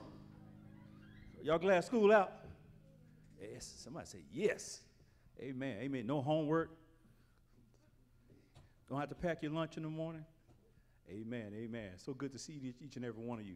As you guys know, what state do y'all live in? Say it again. Texas. You know, down here in Texas, especially this week, we, our weather's been up and down. It's been storming. How many of y'all like thunderstorms and lightning? Kind of scary, is it not? Sometimes when it lightens and it th- thunderstorms, something happens in your house sometime. Who can tell me what, what happens usually during a thunderstorm? I mean, a really strong one. What happens? The lights go out. And when the lights go out, especially at night, you can't see nothing, can you? And it's good to have something in the house. What do you think that something is? Candles is good. What else? A flashlight. What is this? This is a flashlight. What's some good places where you can use a flashlight?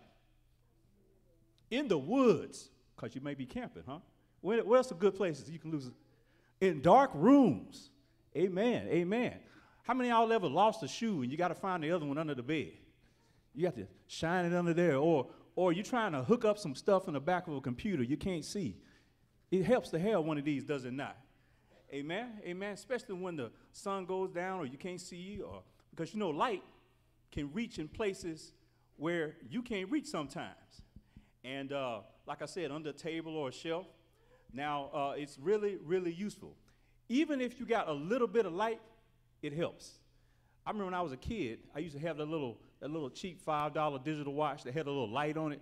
You could be in a dark room and hit that thing. No matter how dim that light is, it'll light up that little bit of room. So just a little bit of light goes a long way, amen?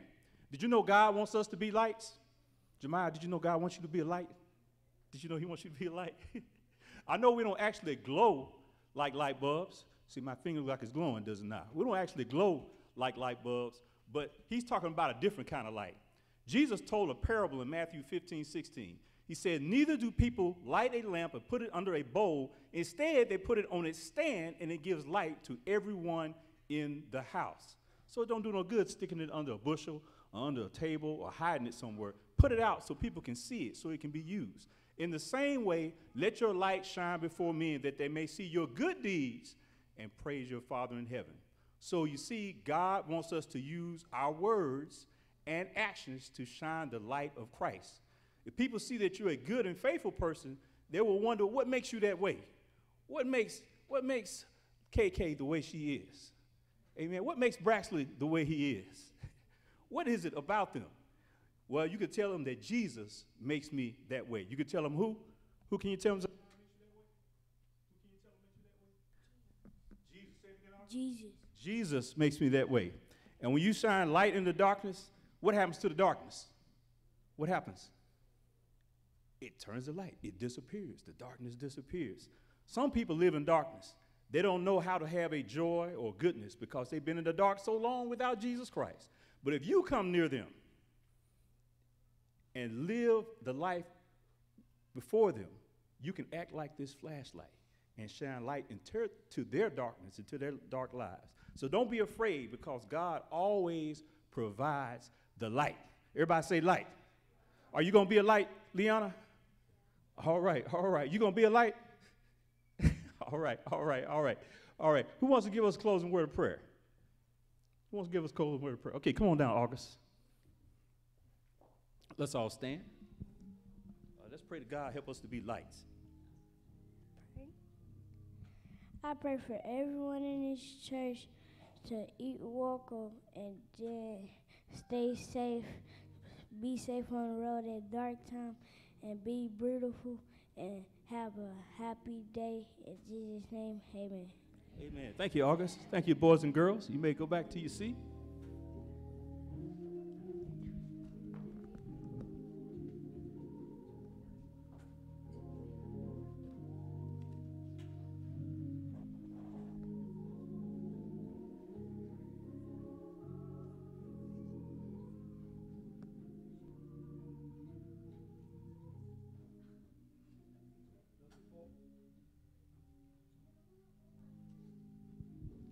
Just before the, the deacons come for the tithes and offering this morning, I'd like uh, Mr. Sebastian T. to stand for a minute so you can look in the back. Mr. Sebastian T. He is the gentleman that is actually helping us with the training. It's fantastic. If you stay back, uh, come back 2 or 2.30, he will have some fantastic information, especially for fathers, especially for fathers. Others are welcome. However, we can't have everyone coming right away, but, you know, just come by between 2, 2 and 2.30. And tomorrow, if you come in for any um, treatment, there is a fee involved. So you need to ask me uh, about it. I don't want to promote it from the pulpit, but there's a fee involved. There will be two people for free. We have made provision for that. And today, um, I'm going out on a limb saying that individuals that come, uh, we will not be charging them anything because it's a Sabbath. But tomorrow, the first two individuals that come, it will be covered. So I just want you to see Mr. T. If you just raise your hand again, that's Mr. T, Sebastian T.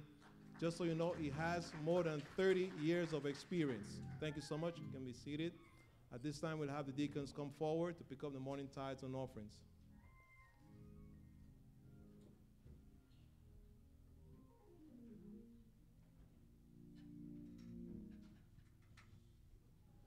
And we're praying. Our God and our Father, you have been indeed our Jehovah Jireh. You have provided for us. You have given us strength. You have given us skills. And many of us have traded in those skills and knowledge for something that is called money, checks, whichever way it's been called. And now, Father, with an expression of recognition of who you are, come this morning to return our tithes and to express our love in the form of offerings. So we ask your blessing on it in Jesus' name. Amen. We have five different ways to give, or perhaps six, with the modern technology. The old traditional way is that someone come by your house and pick it up because you are unable to come by for whatever reason, and they're more than happy to come and assist you that way. The other ways that you were not able to come in church on time on Sabbath because you had some other appointment, engagement. So you decided to use our drop box in the back. And then, of course, if you are still with the U.S. postal system, you can mail it in. But then, in the last few years, we have been doing the traditional in person. As you come to worship, as we come to worship, we bring our tithes and offering. But now we have two other sophisticated ways. Online. If you will online, if you will download our church app, you can return your tithes and offering. Or the church has a cash app. It's called Forest Hill, Dollar Forest Hill. I can't read the rest. I'm so sorry.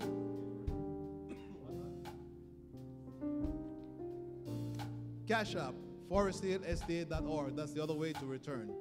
So I just want to encourage us to return our tithes and offering because God has promised us blessings. He has challenged us to challenge Him. And in the challenge, He says to us, Bring ye all the tithes into the storehouse, that there may be meat in my house. And here's the challenge that God gives us. He says, And prove me now herewith, saith the Lord of hosts, if I will not open you the windows of heaven and pour you out a blessing, that there shall not be room enough to receive it. Do we believe God? Have we entrusted our riches to God? Have we entrusted our skills? I would say, yes, we have, and we can be certain that God will bless us. And we're praying. Father in heaven, in your faithfulness, you have challenged us to prove you. Many of us have done it for years. Others are in the beginning stage of trusting you. Whichever be the case, Father, we are asking that in your providence, in your grace, in your love, that you will respond to us the challenge that you've given.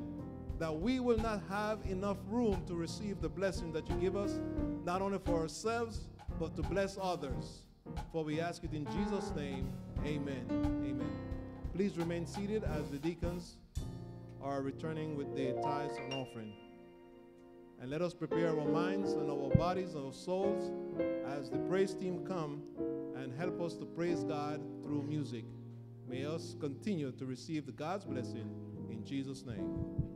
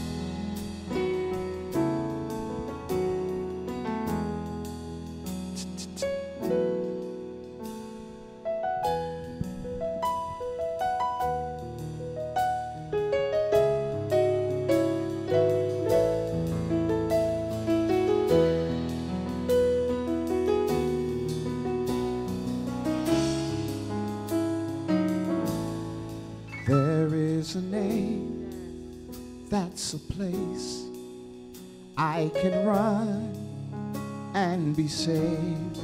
There is a name that can heal, calm my storm, peace be still. I can call on that name and be saved. Things will So stand and proclaim there's no greater name than Jesus. Jesus. Stand and proclaim there is no greater name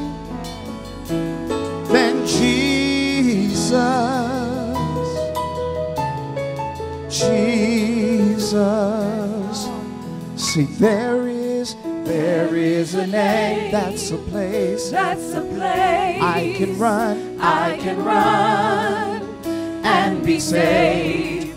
There is a name that can heal that can heal all my storm. all my soul. Peace be still. Peace be still. I can call on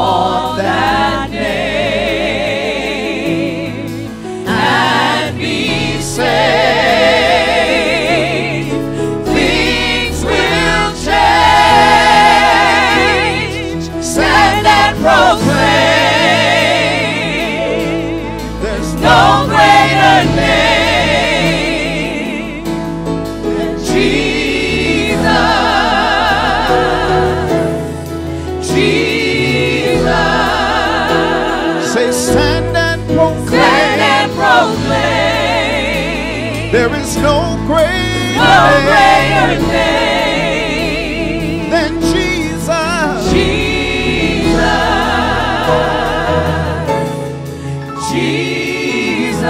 Jesus. Say, there is a name. There is a name that's a place I can run and be saved. There is a name that can heal all my storm. Peace be still. I can call on that name and be saved.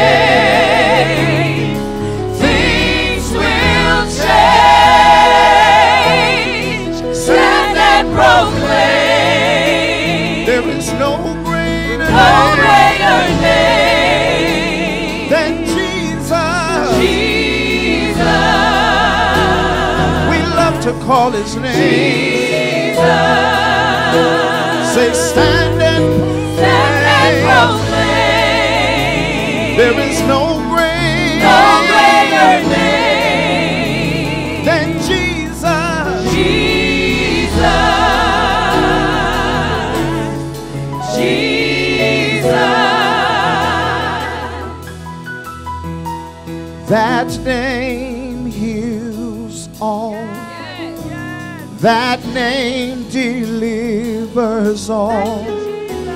It works. It works. It works. Help me say that name heals all. That name heals all. That name delivers all. Name delivers all. I know that It it works. works. It works. It works. Anybody believe that this morning? That name, that name heals all. That name That delivers name all. delivers all. Somebody say that it, It works. It works. It works. It works. It works. Come on, let's say that name heals all. That name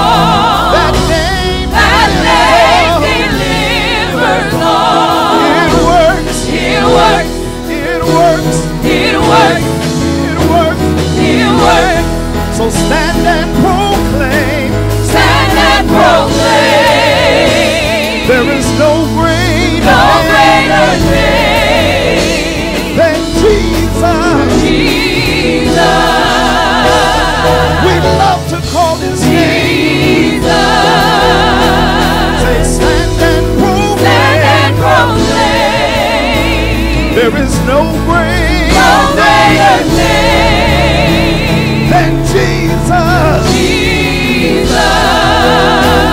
There's power in the name.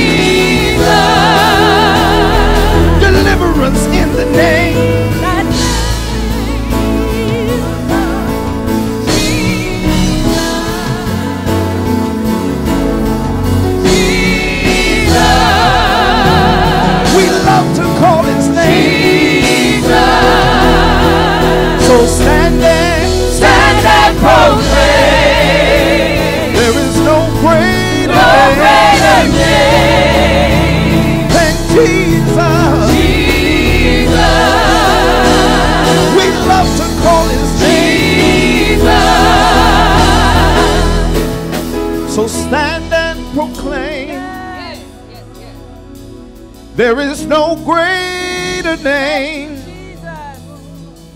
than Jesus. Healing in the name of Jesus. So we stand and proclaim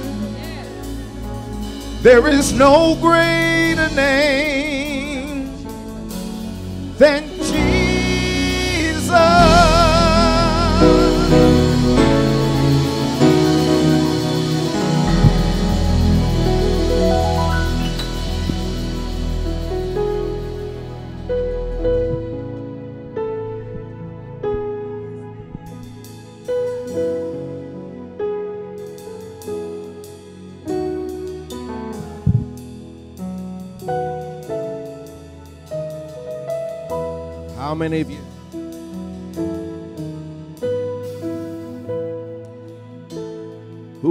morning knows that that name still works?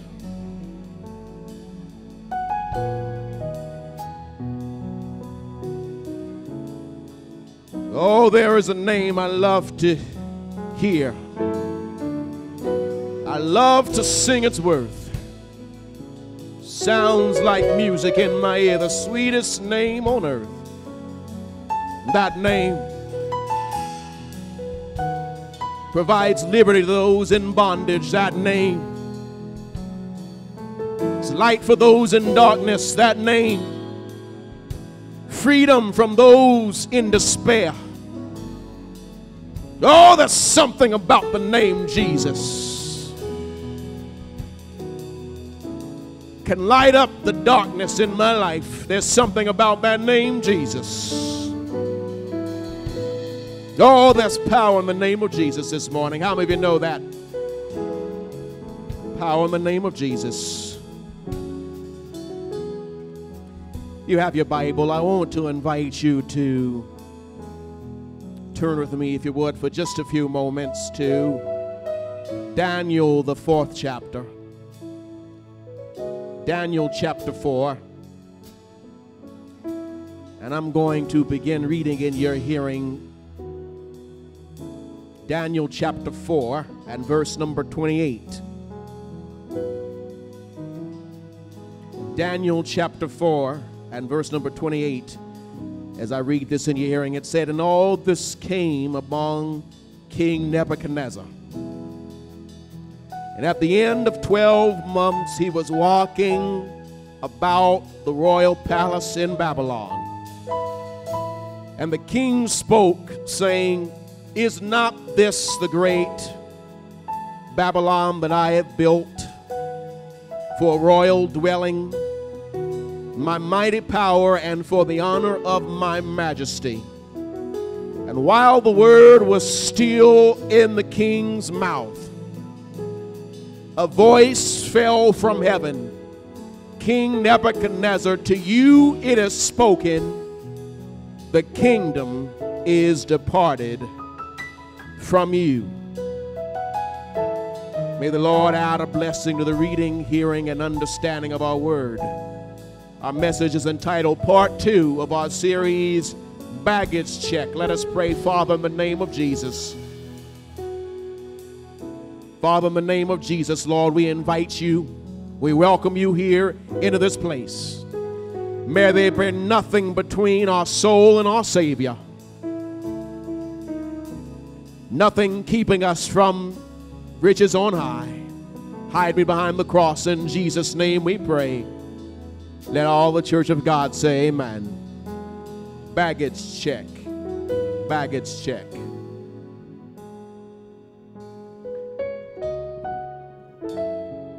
My friends, we are coming here together once again.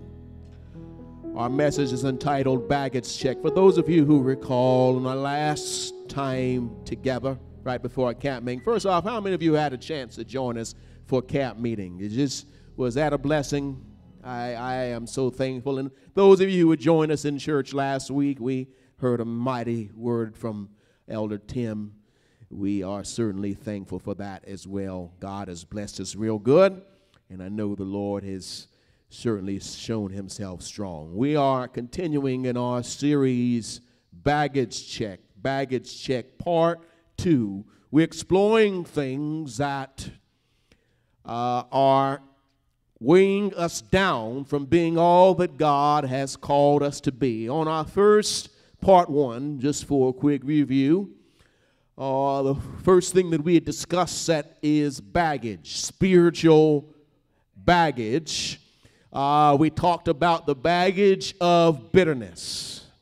You see, bitterness is that thing that happens in your relationships uh, that when you have hurt that has been unaddressed, pain that has been unaddressed, things that have for years been swept under the rug and never talked about and discussed and uh, aired that dirty laundry, that that unaddressed hurt festers and comes out in ways that you wish that it didn't sometimes. That unaddressed hurt becomes bitterness and it ruins relationships. It ruins trust. It breaks bonds and it breaks and weighs us down. It keeps us from being all that we can be. These are things that are spiritual baggage. You see, I believe, friends, that God wants us as Christians to take flight. We're talking about baggage here. Many of us are preparing for summer vacations and taking trips to exotic locations. But one thing I know is before you get on the plane, you've got to put everything that you're carrying with you, you've got to put it on a scale. Are you hearing me this morning? The reason why you got to put your bag on a scale is because before you go up, the plane has to determine whether or not you've got too much that's holding you down. Are you hearing me this morning? I believe that there are some people in this world who God wants to help them go up, but before they go up, they've got to check their bags to make sure there's not too much stuff holding them down. Before God makes you go up, you've got to let go of whatever it is that's holding you down. Whether that thing be bitterness, whether that thing be pride, whether that thing be ego, whatever it is that would hold you down, God wants you to ride on the high places. God wants you to be the head and not the tail. God wants you to experience the joy of salvation, but God cannot help you go up if you got too much stuff holding you down. My friends, I want nothing between my soul and my Savior. The first thing we discussed is bitterness, spiritual baggage of bitterness hurt feelings, someone had said something unkind, and someone who had hurt you. And we hold on to that thing, and it can cause you to lose your salvation. Friends, forgiveness and putting aside helps us to wipe the slate clean and move forward in the grace of God. We want to let go of that spiritual baggage. The second thing we want to discuss that brings spiritual baggage. We want to talk about something that you don't hear discussed in church too much. We are going to talk about the spirit, the spiritual baggage called pride. We're going to talk about that spiritual baggage called pride. You don't hear too many preachers talk about pride here, friends. In fact, in church circles, in society as a whole, that seems to be a sin that is least discussed. But I would submit to you that sin is probably the most dangerous of all the sins, the sin of pride. Why is pride so dangerous, friends? Because it stops us from having an honest assessment of what is wrong in our lives. It stops us from taking a good hard look in the mirror and saying, I've got to do better. I've got some things I've got to work on. I've got some things that I've got to adjust. Pride is a thing that helps us to walk around with our chests puffed out, thinking we are high and mighty and holier than thou. And unfortunately, in society, it's seen as a sign of weakness to say, I'm sorry. Unfortunately, in society, it's seen as a sign of weakness to acknowledge your flaws and your mistakes and say, I've got a long way to be like the Lord. See, the reason why pride don't get talked about a whole lot in church, I got a secret. I'm going to roll th- this thing back here, friends. Folks don't talk about pride too much in church. I'm a, I'm a, I'm a, I'm a roll back the curtain now, friends. The reason why they don't be talking about pride in church is because there's a whole lot of preachers who suffer from the sin of pride. And so they don't talk about it because they love the spotlight. Uh, But, friends, I'm here to tell you this morning that pride comes before fall. We've got to check ourselves, constantly look in the mirror, and not start getting too full of ourselves. Because I believe that God has a way of when you get too high and mighty, God has a way of reminding you who you really are. God has a way. Our story begins in the fourth division of Daniel. Daniel, the prophet Daniel, the fourth chapter. Nebuchadnezzar was an interesting character in Bible history. You see, Nebuchadnezzar was the instrument that God used to take the children of Israel into captivity. You see, God's people had gotten a little bit too high and mighty and full of themselves. They'd gotten a little bit too arrogant. They'd gotten a little bit too going around and saying, I'm the chosen people, the ones that God has put in their hands on. And so God had to remind Israel that you're not great because of your intellect. You're not great because of your degrees. You're not great because of your titles. You're not great because you got letters beside your name or because you drive a fancy car or live in a nice house or got some dollars in your bank account. That's not the thing that makes you great. You see, you're great because before you were a people, you were my people. You're great because when I when you called on my name, I was there to answer you. That when you were a slave in Egypt, I was the one who broke the chains that held you bound. I was the one who led you with a pillar of fire and a cloud. Don't get so full of yourself that you think you did this thing. And so God has to, had to remind them, and He used the instrument. He used a heathen king now, friends. You see, sometimes God uses ungodly people to accomplish His godly purpose. You ain't hear me this morning. I said sometimes God uses ungodly people to accomplish His godly purpose.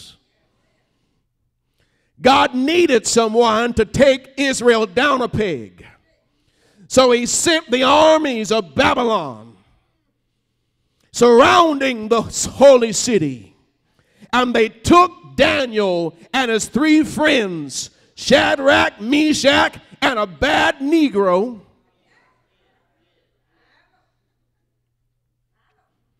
Took them away to Babylon. I said Nebuchadnezzar is an interesting character because, friends, the lesson that God had anointed him to teach the children of Israel, he ended up having to learn it himself. In Daniel chapter 2, students of Bible prophecy know that Nebuchadnezzar has a vision. He sees a statue with a head of gold and arms of silver and, and a waist of bronze and feet of iron he sees this statue representing the world powers that would come on the scene. And Daniel says, Babylon, Nebuchadnezzar, you are the head of gold. Well, now Nebuchadnezzar takes this, this vision that God gave him, reminding him that God sets up kingdoms and God causes them to sit down. And Nebuchadnezzar says, Well, I like the head of gold, but I'm going to make me a whole statue now. And so the Bible said, students of prophecy know that it sets up a statue in the plain of Dura. And it says, when you hear the sound of the music, I want everybody in the plain to bow down because I'm not just the head of gold, I'm the whole statue. And everybody begins to bow down. And the trumpets began to play, and the music and the horns began to play, friends. It kind of reminds me of how right now, uh, well, let me, some, that's going to make somebody uncomfortable, but they, they, they said when the music plays, called the national anthem, they say everybody got to put their hand on their heart. Well, friends, before I'm an American, I'm a Christian. And I'm going to bow before the throne in glory before I bow to a government. I love my country, but I love my God more. Amen, saints? Everybody bowed when the music, when the Babylonian national anthem began to play. Everyone bowed except for three folk Shadrach, Meshach, and Abednego. So Nebuchadnezzar, I told you he's an interesting character. He got upset, threw them into the fiery furnace, and all of a sudden they see folk walking around. I thought I put three people in there. But I see somebody else who looks like the Son of God in the furnace. It don't matter how hot the oven gets, God is in the furnace. Should have learned his lesson. But Nebuchadnezzar had to learn the hard way. Some of us got to learn. Some listen, friends. I ain't got to bump my head to know I shouldn't bump my head. Some of us got to learn the hard way. The best teacher is not experience. The best teacher is learning from somebody else's experience. Are you hearing me this morning? I ain't got to bump my head to know I shouldn't bump my head. But when I saw you fall and bump your head, that tells me to be careful. I ain't got to touch a hot stove to know I shouldn't touch a hot stove. But when I saw you burn yourself, I learned from your experience. He saw how God had humbled Israel,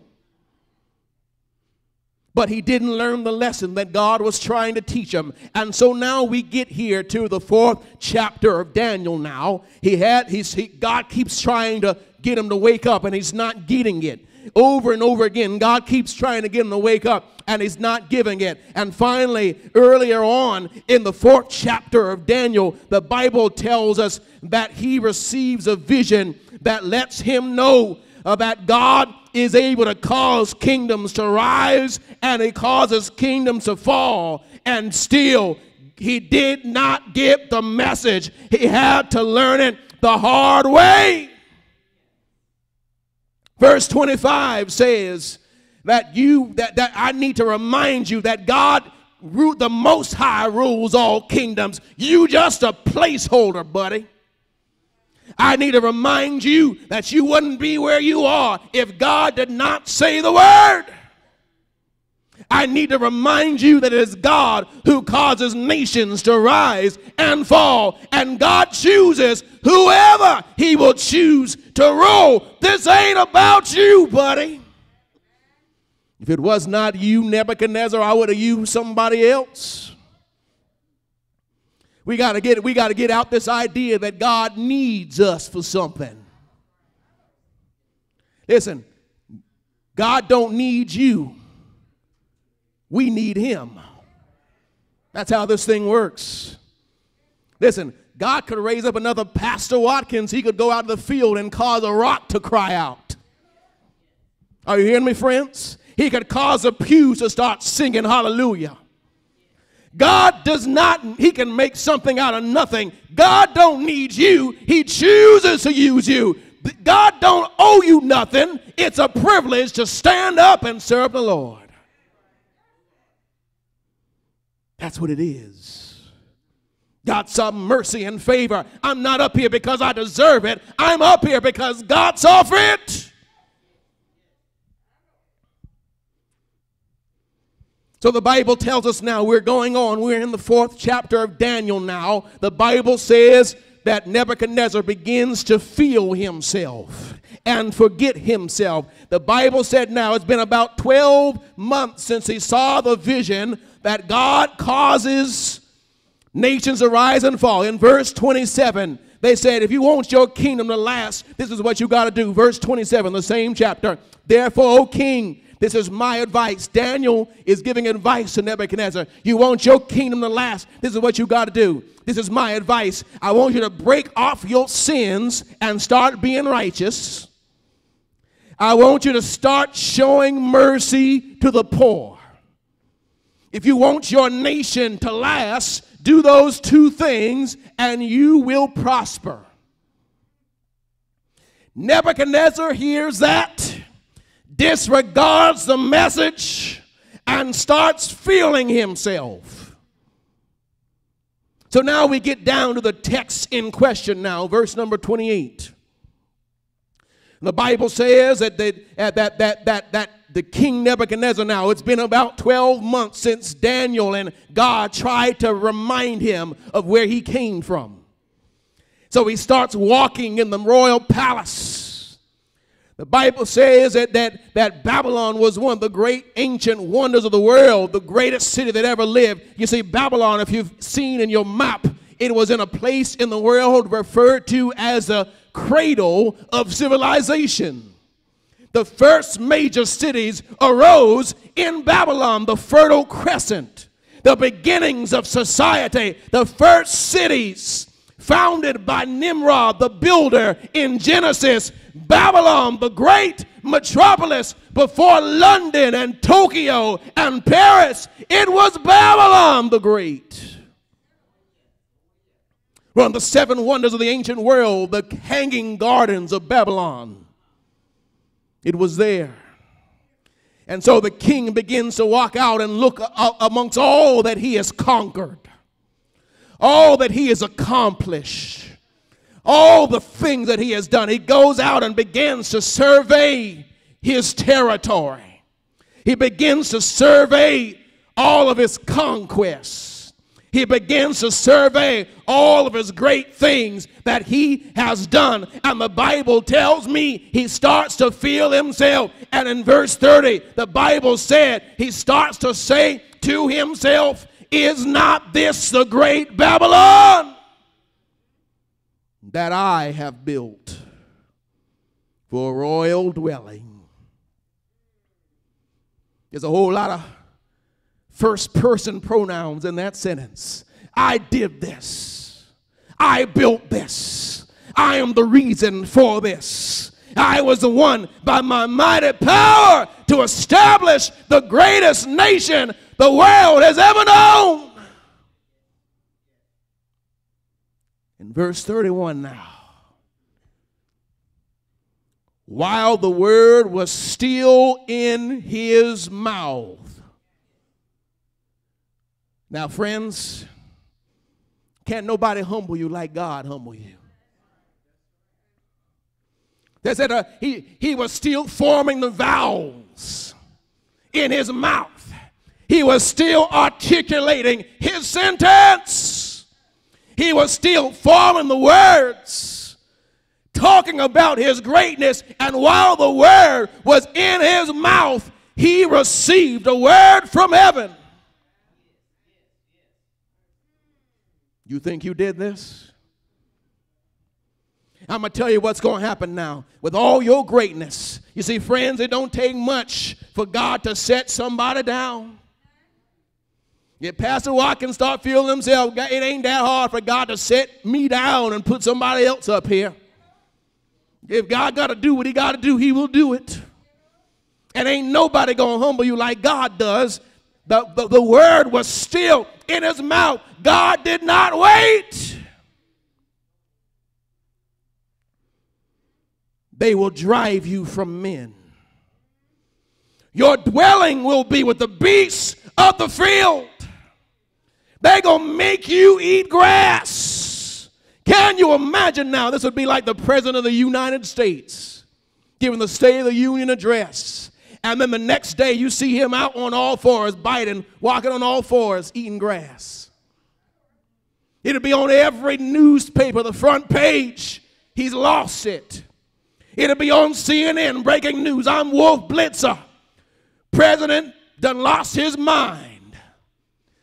But the Bible said the king of the most powerful nation on earth, that very hour, verse 33, began to walk in the grass.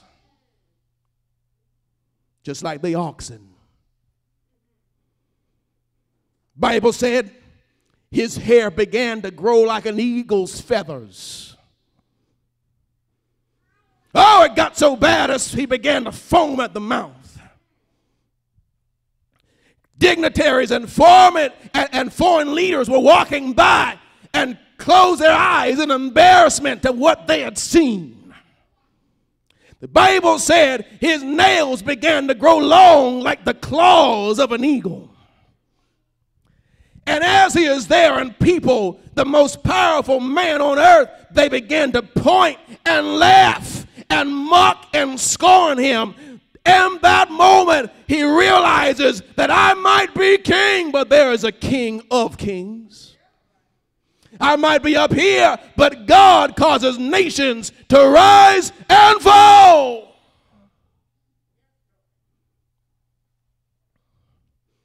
You see, friends, the thing that we've got to understand and realize is that pride is the most dangerous of all sins.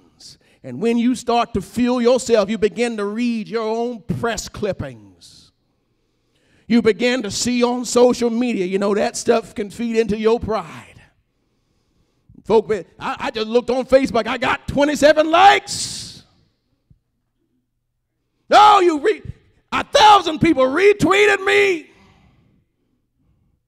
And then you start feeling yourself. Maybe I really do got it going on.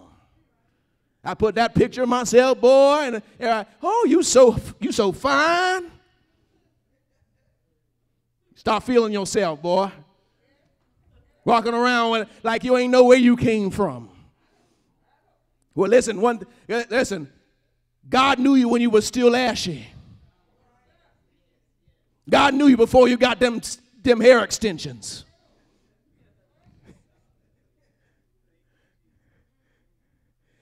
When the only thing you had was nappy and happy, God knew you and He loved you then.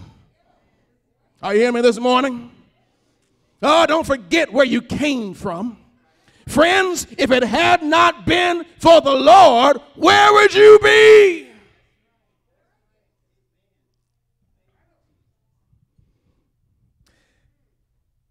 The Bible declares that in Proverbs it said that pride comes before a fall. This story we hear over and over again about people who gain notoriety, who gain who gain recognition, begin to feel themselves a little bit too much. And then they and then they end up getting out there and making a fool out of themselves. Hello, Kanye West.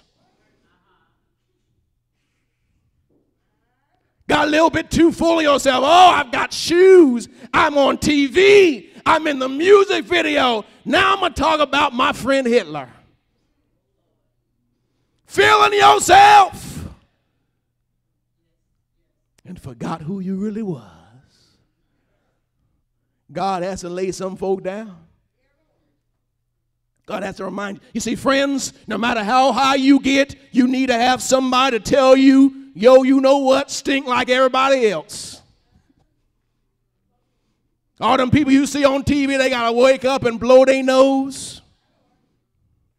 They got to wash their behind. They put their pants on one leg at a time, just like you. You don't know what that, that model looked like before he before Photoshop and makeup and hair and all and nails got done. You, you, you think they look perfect. You don't know what happened before they went in the booth. My friends, there's so much fakeness going around. People need to be real with themselves and with God. Folk need to be real. Too much artificial. But the reason why folk are not real is because pride We everybody wants to be well thought of and put out there that they're living the perfect life. As if the kids ain't getting your last nerves. As if you ain't having an argument with your wife. As if you ain't have times in your life where you want to throw in the towel. My friends, I believe that we as a church would be more effective reaching out in the community if they saw that we got struggles just like everybody else. I believe that some folk are staying outside of church because they think they're not good enough to walk through them doors. If only they knew. We have people just like everybody else. People with problems. Jesus said, I have not come with the righteous, but to seek and to save that which was lost. But they don't talk about pride in church because there's a whole lot of folk in church who got pride, including a whole lot of pastors. Jesus talked about spiritual pride in Matthew, the 23rd chapter. I want to go there with me here, friends, because Jesus exposed a spiritual pride. We see a lot of pride in our politics, right? We see a lot of pride in our community. And friends, I believe that there's a whole lot of pride going on in church. The reason why, friends, the reason why, friends, is that historically now, historically now, the only place that we could really be ourselves is when we came to church. So what happens now, friends? Society tells you you ain't worth nothing. Society beats you up and beats you up, and the only place you can be the man is when you walk through those doors. Some folk got a strut when they walk through because this is the only place they can be themselves. But be careful now, friends. Be careful. We're turning now, we're talking about pride. We're talking about spiritual baggage. I'm not saying this to try to tear nobody down. I'm saying this because I want us to take flight. Are you hearing me, friends? And the only way we can take flight is to let go of some of that baggage. Pride is spiritual baggage. You see, God can't work with you if you already think you got all the answers. God can't teach folk who know everything. God can't fill you if you ain't empty. God can't fix you if you're not broken. God can't heal you if you don't acknowledge you're hurting. And God can't save you if you don't acknowledge you need salvation. So come just as you are, flaws and all, and God will lift you up. You see, here's the, th- here's the way this thing works here, friends. God's specialty is afflicting the comfortable and comforting the afflicted. That's how God works now. If you think you up here, God's going to yank you down. And if you down here, God's going to pick you up. Now, what I want God to do is I want God to pick me up. Are you hearing me, friends? Let's talk about this thing. Let's talk about this thing now, friends. We're in Matthew, Matthew the 23rd chapter. Matthew the 23rd chapter now, friends. We're dealing with this spiritual baggage. How do I know in my life I got pride now, friends? How do I know in my life I got pride? Friends, your pride tends to be bothered by the pride of others. That's how, that's how you can identify pride now.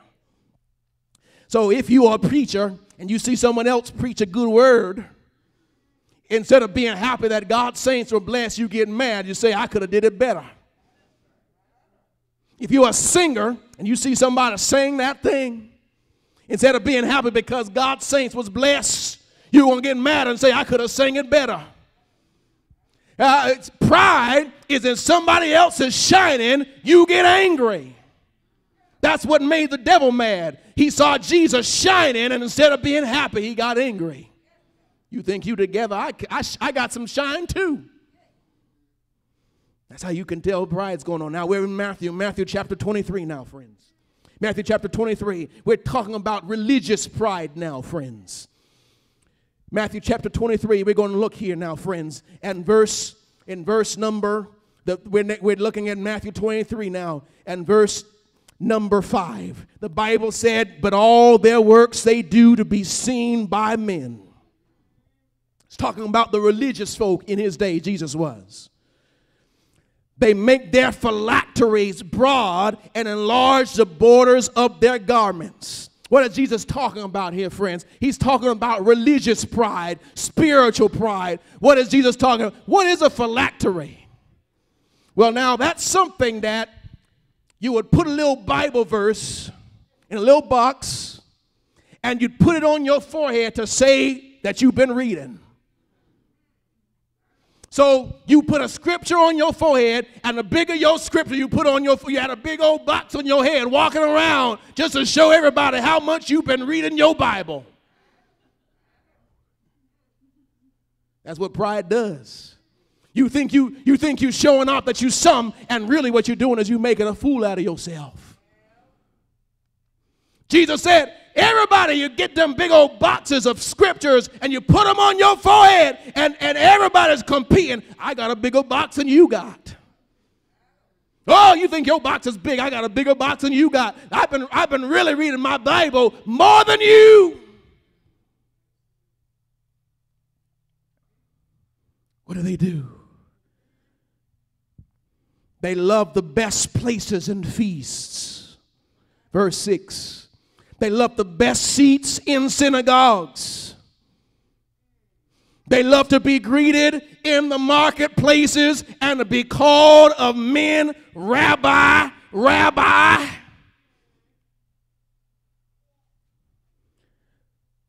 But do not be called Rabbi, for there is one your teacher, the Christ, and you are all brethren. Did you catch that, friends?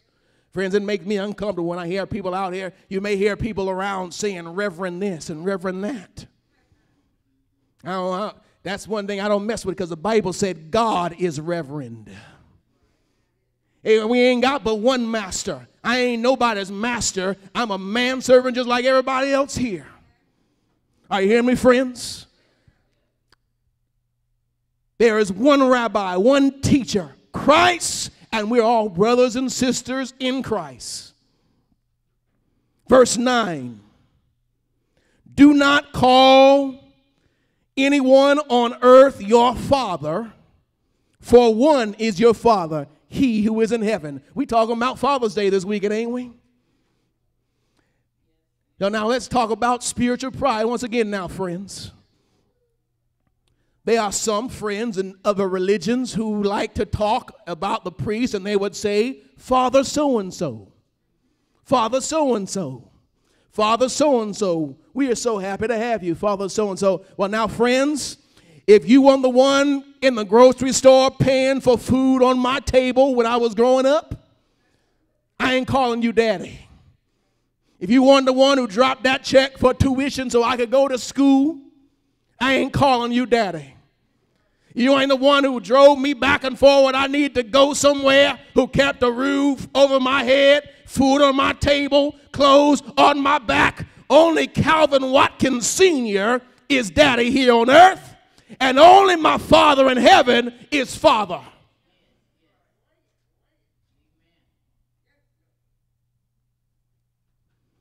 But folk get caught up in titles and names and being seen. Oh, I'm the elder. No, I'm the deacon. No, I sit on this board. No, I'm a part of this group. No, I got this degree. Friends, does your pride matter more than your salvation? People care about their reputation more than their salvation. And the same thing that caused the Jews to need to be humbled. I believe there's some spiritual pride going on amongst a lot of us Seven day Adventists too. I love everybody, but I tell the truth. What do they do? They walked around saying we were the chosen people. Don't we walk around saying we the chosen church? Friends, better off does not mean better than. If not for the grace of God, so go I. It's important for this thing to be about service rather than about status. Are you hearing me, friends? This is about service, not status. A whole lot of people come in church because they want to be up here and say, everybody else, you down here. When really what you ought to be about is if someone is hungry, I feed you. When someone is naked, I clothe you. When someone's in prison, I visit you. It ought to be about love rather than your reputation. And a lot of people are on the outside looking in because they see people who are more concerned with thinking they special rather than trying to do what God said in the world. Now I'm going to say something else. I'm probably going to get in trouble for this, but I got to say it anyway.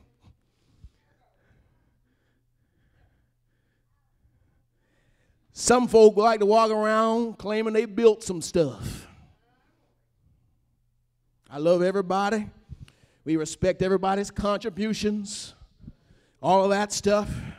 But here's one thing I know if you just came to church five minutes ago, or you've been in the church for 40 years, you're not worth more to God because you've been here a long time compared to somebody who just gave their life to the Lord.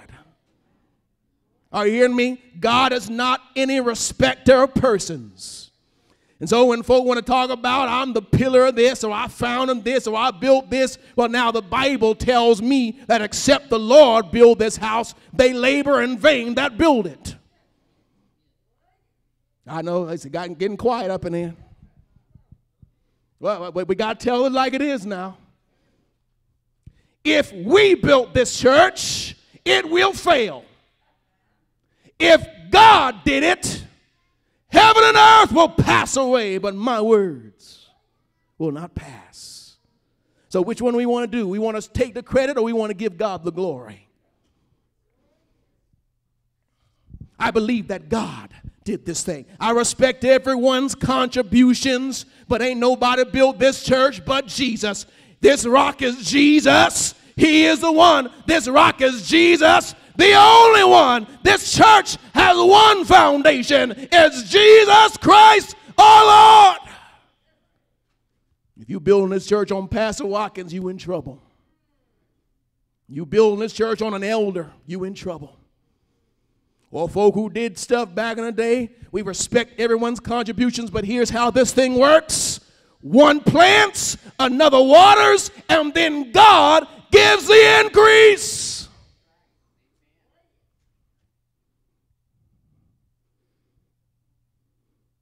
This thing is bigger than Pastor Watkins or the elders or deacons or anybody else. We don't own God's people.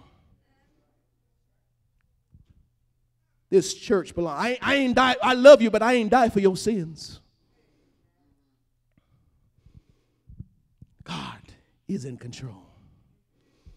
So now, friends, we've got to root out pride wherever it may be. Spiritual pride religious pride. There's a whole lot of marriages on the rocks, I believe, this morning because folks didn't know how to say them two words. When I messed up, say I'm sorry. I could do better. But instead, we walk around and want to paper stuff over, cover stuff up because it hurts our ego too much to acknowledge when something is wrong. And we can do better. Pride stops us from coming to Jesus just as we are. Pride stops us from owning up to our sins and making helping God to make us better. Pride blinds us to what is wrong so that Jesus can make it right. I've got to acknowledge the bad news about me before I find the good news in Jesus. What's the bad news about me? I'm a sinner. But the good news is Jesus specializes in saving sinners. Bad news about me, it don't matter how hard I work. I can never get be good enough to get up there. But the good news is we are saved by grace through faith in Christ Jesus. We're going to be saved, but you can't do it unless you give him the glory. You want credit, you're not getting up there. I can't get myself two inches off the ground by my righteousness. Only to the blood of the Lamb I can be saved. I've got to acknowledge my need for Him, acknowledge my trust in Him, acknowledge my belief in Him, and that I can't do anything unless God helps me to do it by His blood.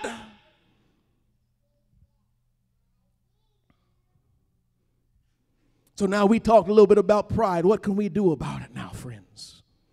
We're talking about baggage now. We're about getting ready to close now, friends. I told you that before you taking a journey somewhere now, it's important for you to check your baggage, check your bags, and make sure that you're only packing the essentials. I'm going to close with this story, friends, now. Before mountain climbers, before they go up the side of a mountain, they open up all their bags. They do extensive research and make sure that the only thing they're packing is strictly the essentials. Because if you're, if you're trying to go up, every pound of unnecessary weight is going to make the journey more difficult. If you're trying to go up, everything that's weighing you down is going to make it even that much more harder to go up. Let me tell you how Jesus put this thing. He said, If your right arm offends you, take it off. If your right eye offends you, take it off. Jesus was not talking about amputating nobody. He was saying, anything that's getting in your way from going up yonder, get rid of it. Some of us here this morning, we got some relationships weighing us down. You might have to let go of that relationship. Some of us, we got some habits that's weighing us down. You may have to let go of that habit. Some of us got some, some things in our life that are weighing us down. Maybe it's bitterness towards a relationship. Maybe it's pride that's holding us back. So now, if you're going to, if you're a mountain climber now, if you're a hiker, you they do extensive research. They make sure they got the right type of bag that's light enough. And they make sure they're packing only the essentials. Only the things they need to keep them alive is what I'm putting in the bag. Are you hearing me, friends? That means I'm going to leave some of that stuff that might be nice to have, but I don't need to have. It's got to stay out the bag. There's a whole lot of stuff that that that that might be oh, permitted, but are not going to help us move up. You see, not see, there's a whole lot of stuff that God allows you to have, but they ain't necessarily going to help you get to glory. You got to look in your bag and say, "What's some of this stuff, this baggage I got to leave out?" You got some extra clothes. Maybe you need to give some of that stuff to Goodwill. You got some bad relationships. You got to let some of that stuff on the side. There's too much stuff that's holding you down. The only thing I need is the essentials. I'm going up. Here's one thing I found out you realize how much junk you got when it's time to move somewhere. You ever notice that? You ever moved somewhere? The more stuff you have means the longer you intend to stay somewhere. That's how it works. So if I'm going somewhere for a week, I'm only packing for a week. If I'm going somewhere for a day, I don't need a change of clothes for a week's worth. I'm just going to be there for a day. Some of us have got loaded down with so much baggage, it's almost like y'all, y'all intend to stay here for good. But I read somewhere this world is not my home.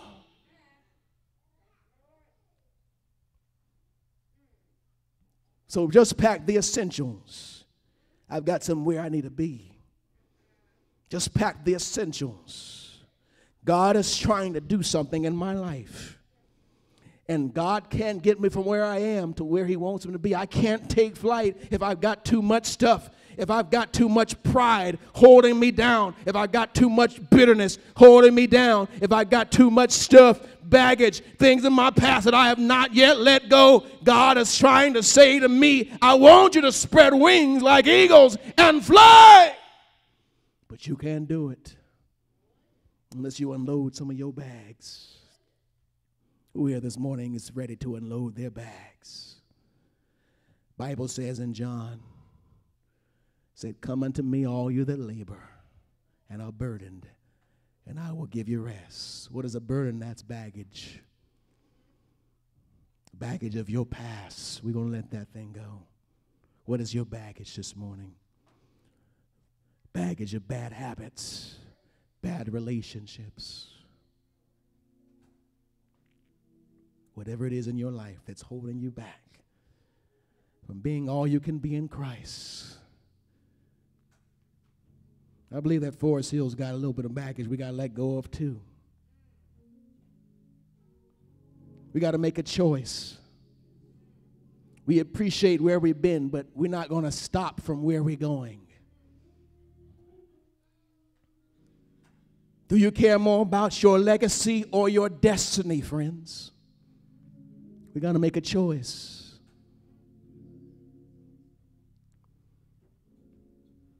We can't go forward doing the same stuff we did 20 years ago. Different world, different times. Oh, the gospel is the same, but we got to find new ways to get it out there.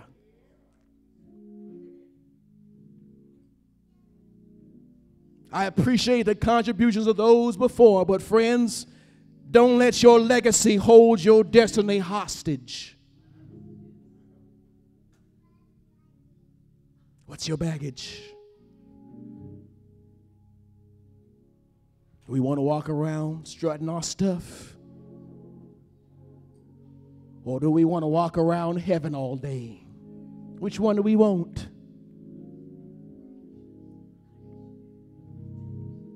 You want to say, I'm up here and everyone else is down here? Well, if you're too high and mighty, God's going to pull you down. But if you're down, God's going to pick you up. Which one is it, friends? There's somebody here this morning. You want to let go of that baggage.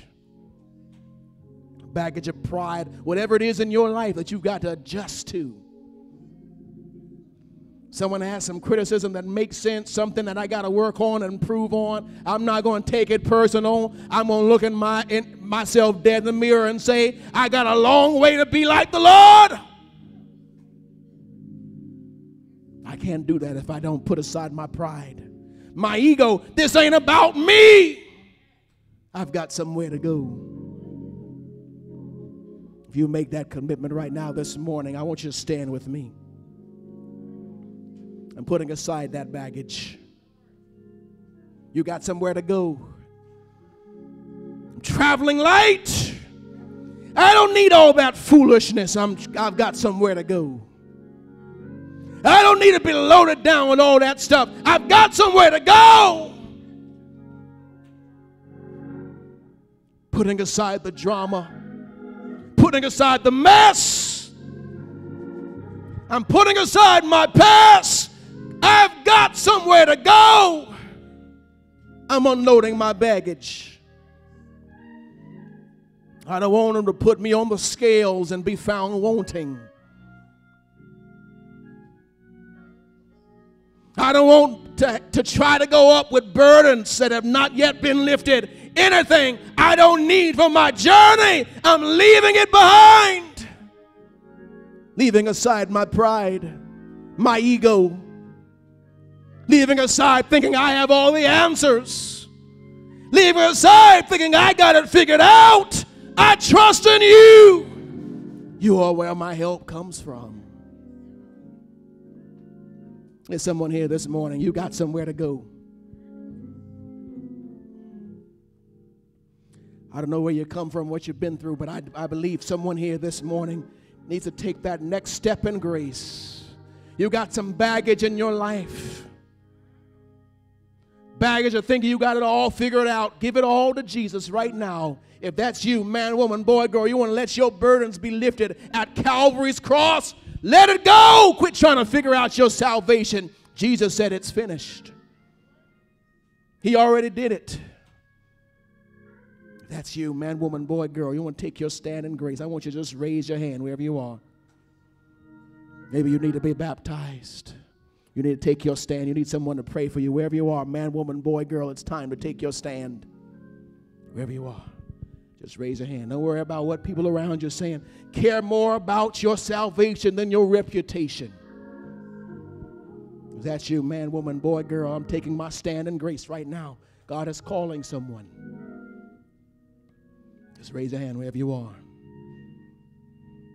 I know everybody's watching. Just raise your hand. If you need to take that stand, God bless you. God bless you. You need to take your stand in grace. Heads are bowed, eyes are closed. Father, in the name of Jesus. We've all got some baggage. But the Holy Ghost is doing a baggage check this morning. He's checking all the preachers for pride. He's checking our members for holier than thou attitudes. Because only the humble will God lift up. Only the empty will God fill their cup. So we come to you right now without any airs. We pull down the facade of perfection. And we're coming to you right now just as we are. Without one plea, we've come to you. Because only you can make us whole. Only you can make us all we can be. Only you can transform our life. We believe in you, trust in you. And burdens are lifted at Calvary's cross. Bless us, we pray.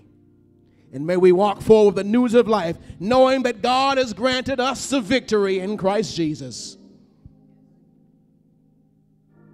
Bless us, we pray. For whosoever the Son of Man sets free shall be free indeed. In Jesus' name we pray. Let all the church of God say, Amen, amen, and amen. God bless you. Our new brothers and sisters, those of you who be joining us for Bible study, please be sure to meet me down front after church. We have a Bible study course that we are making available to you. May God bless you and keep you, cause his face to shine upon you. Thanks for worshiping with us here at Forest Hill. And as always, remember you matter to God, you matter to us too. And always remember a city that's set in a hill can never be hid. God bless you.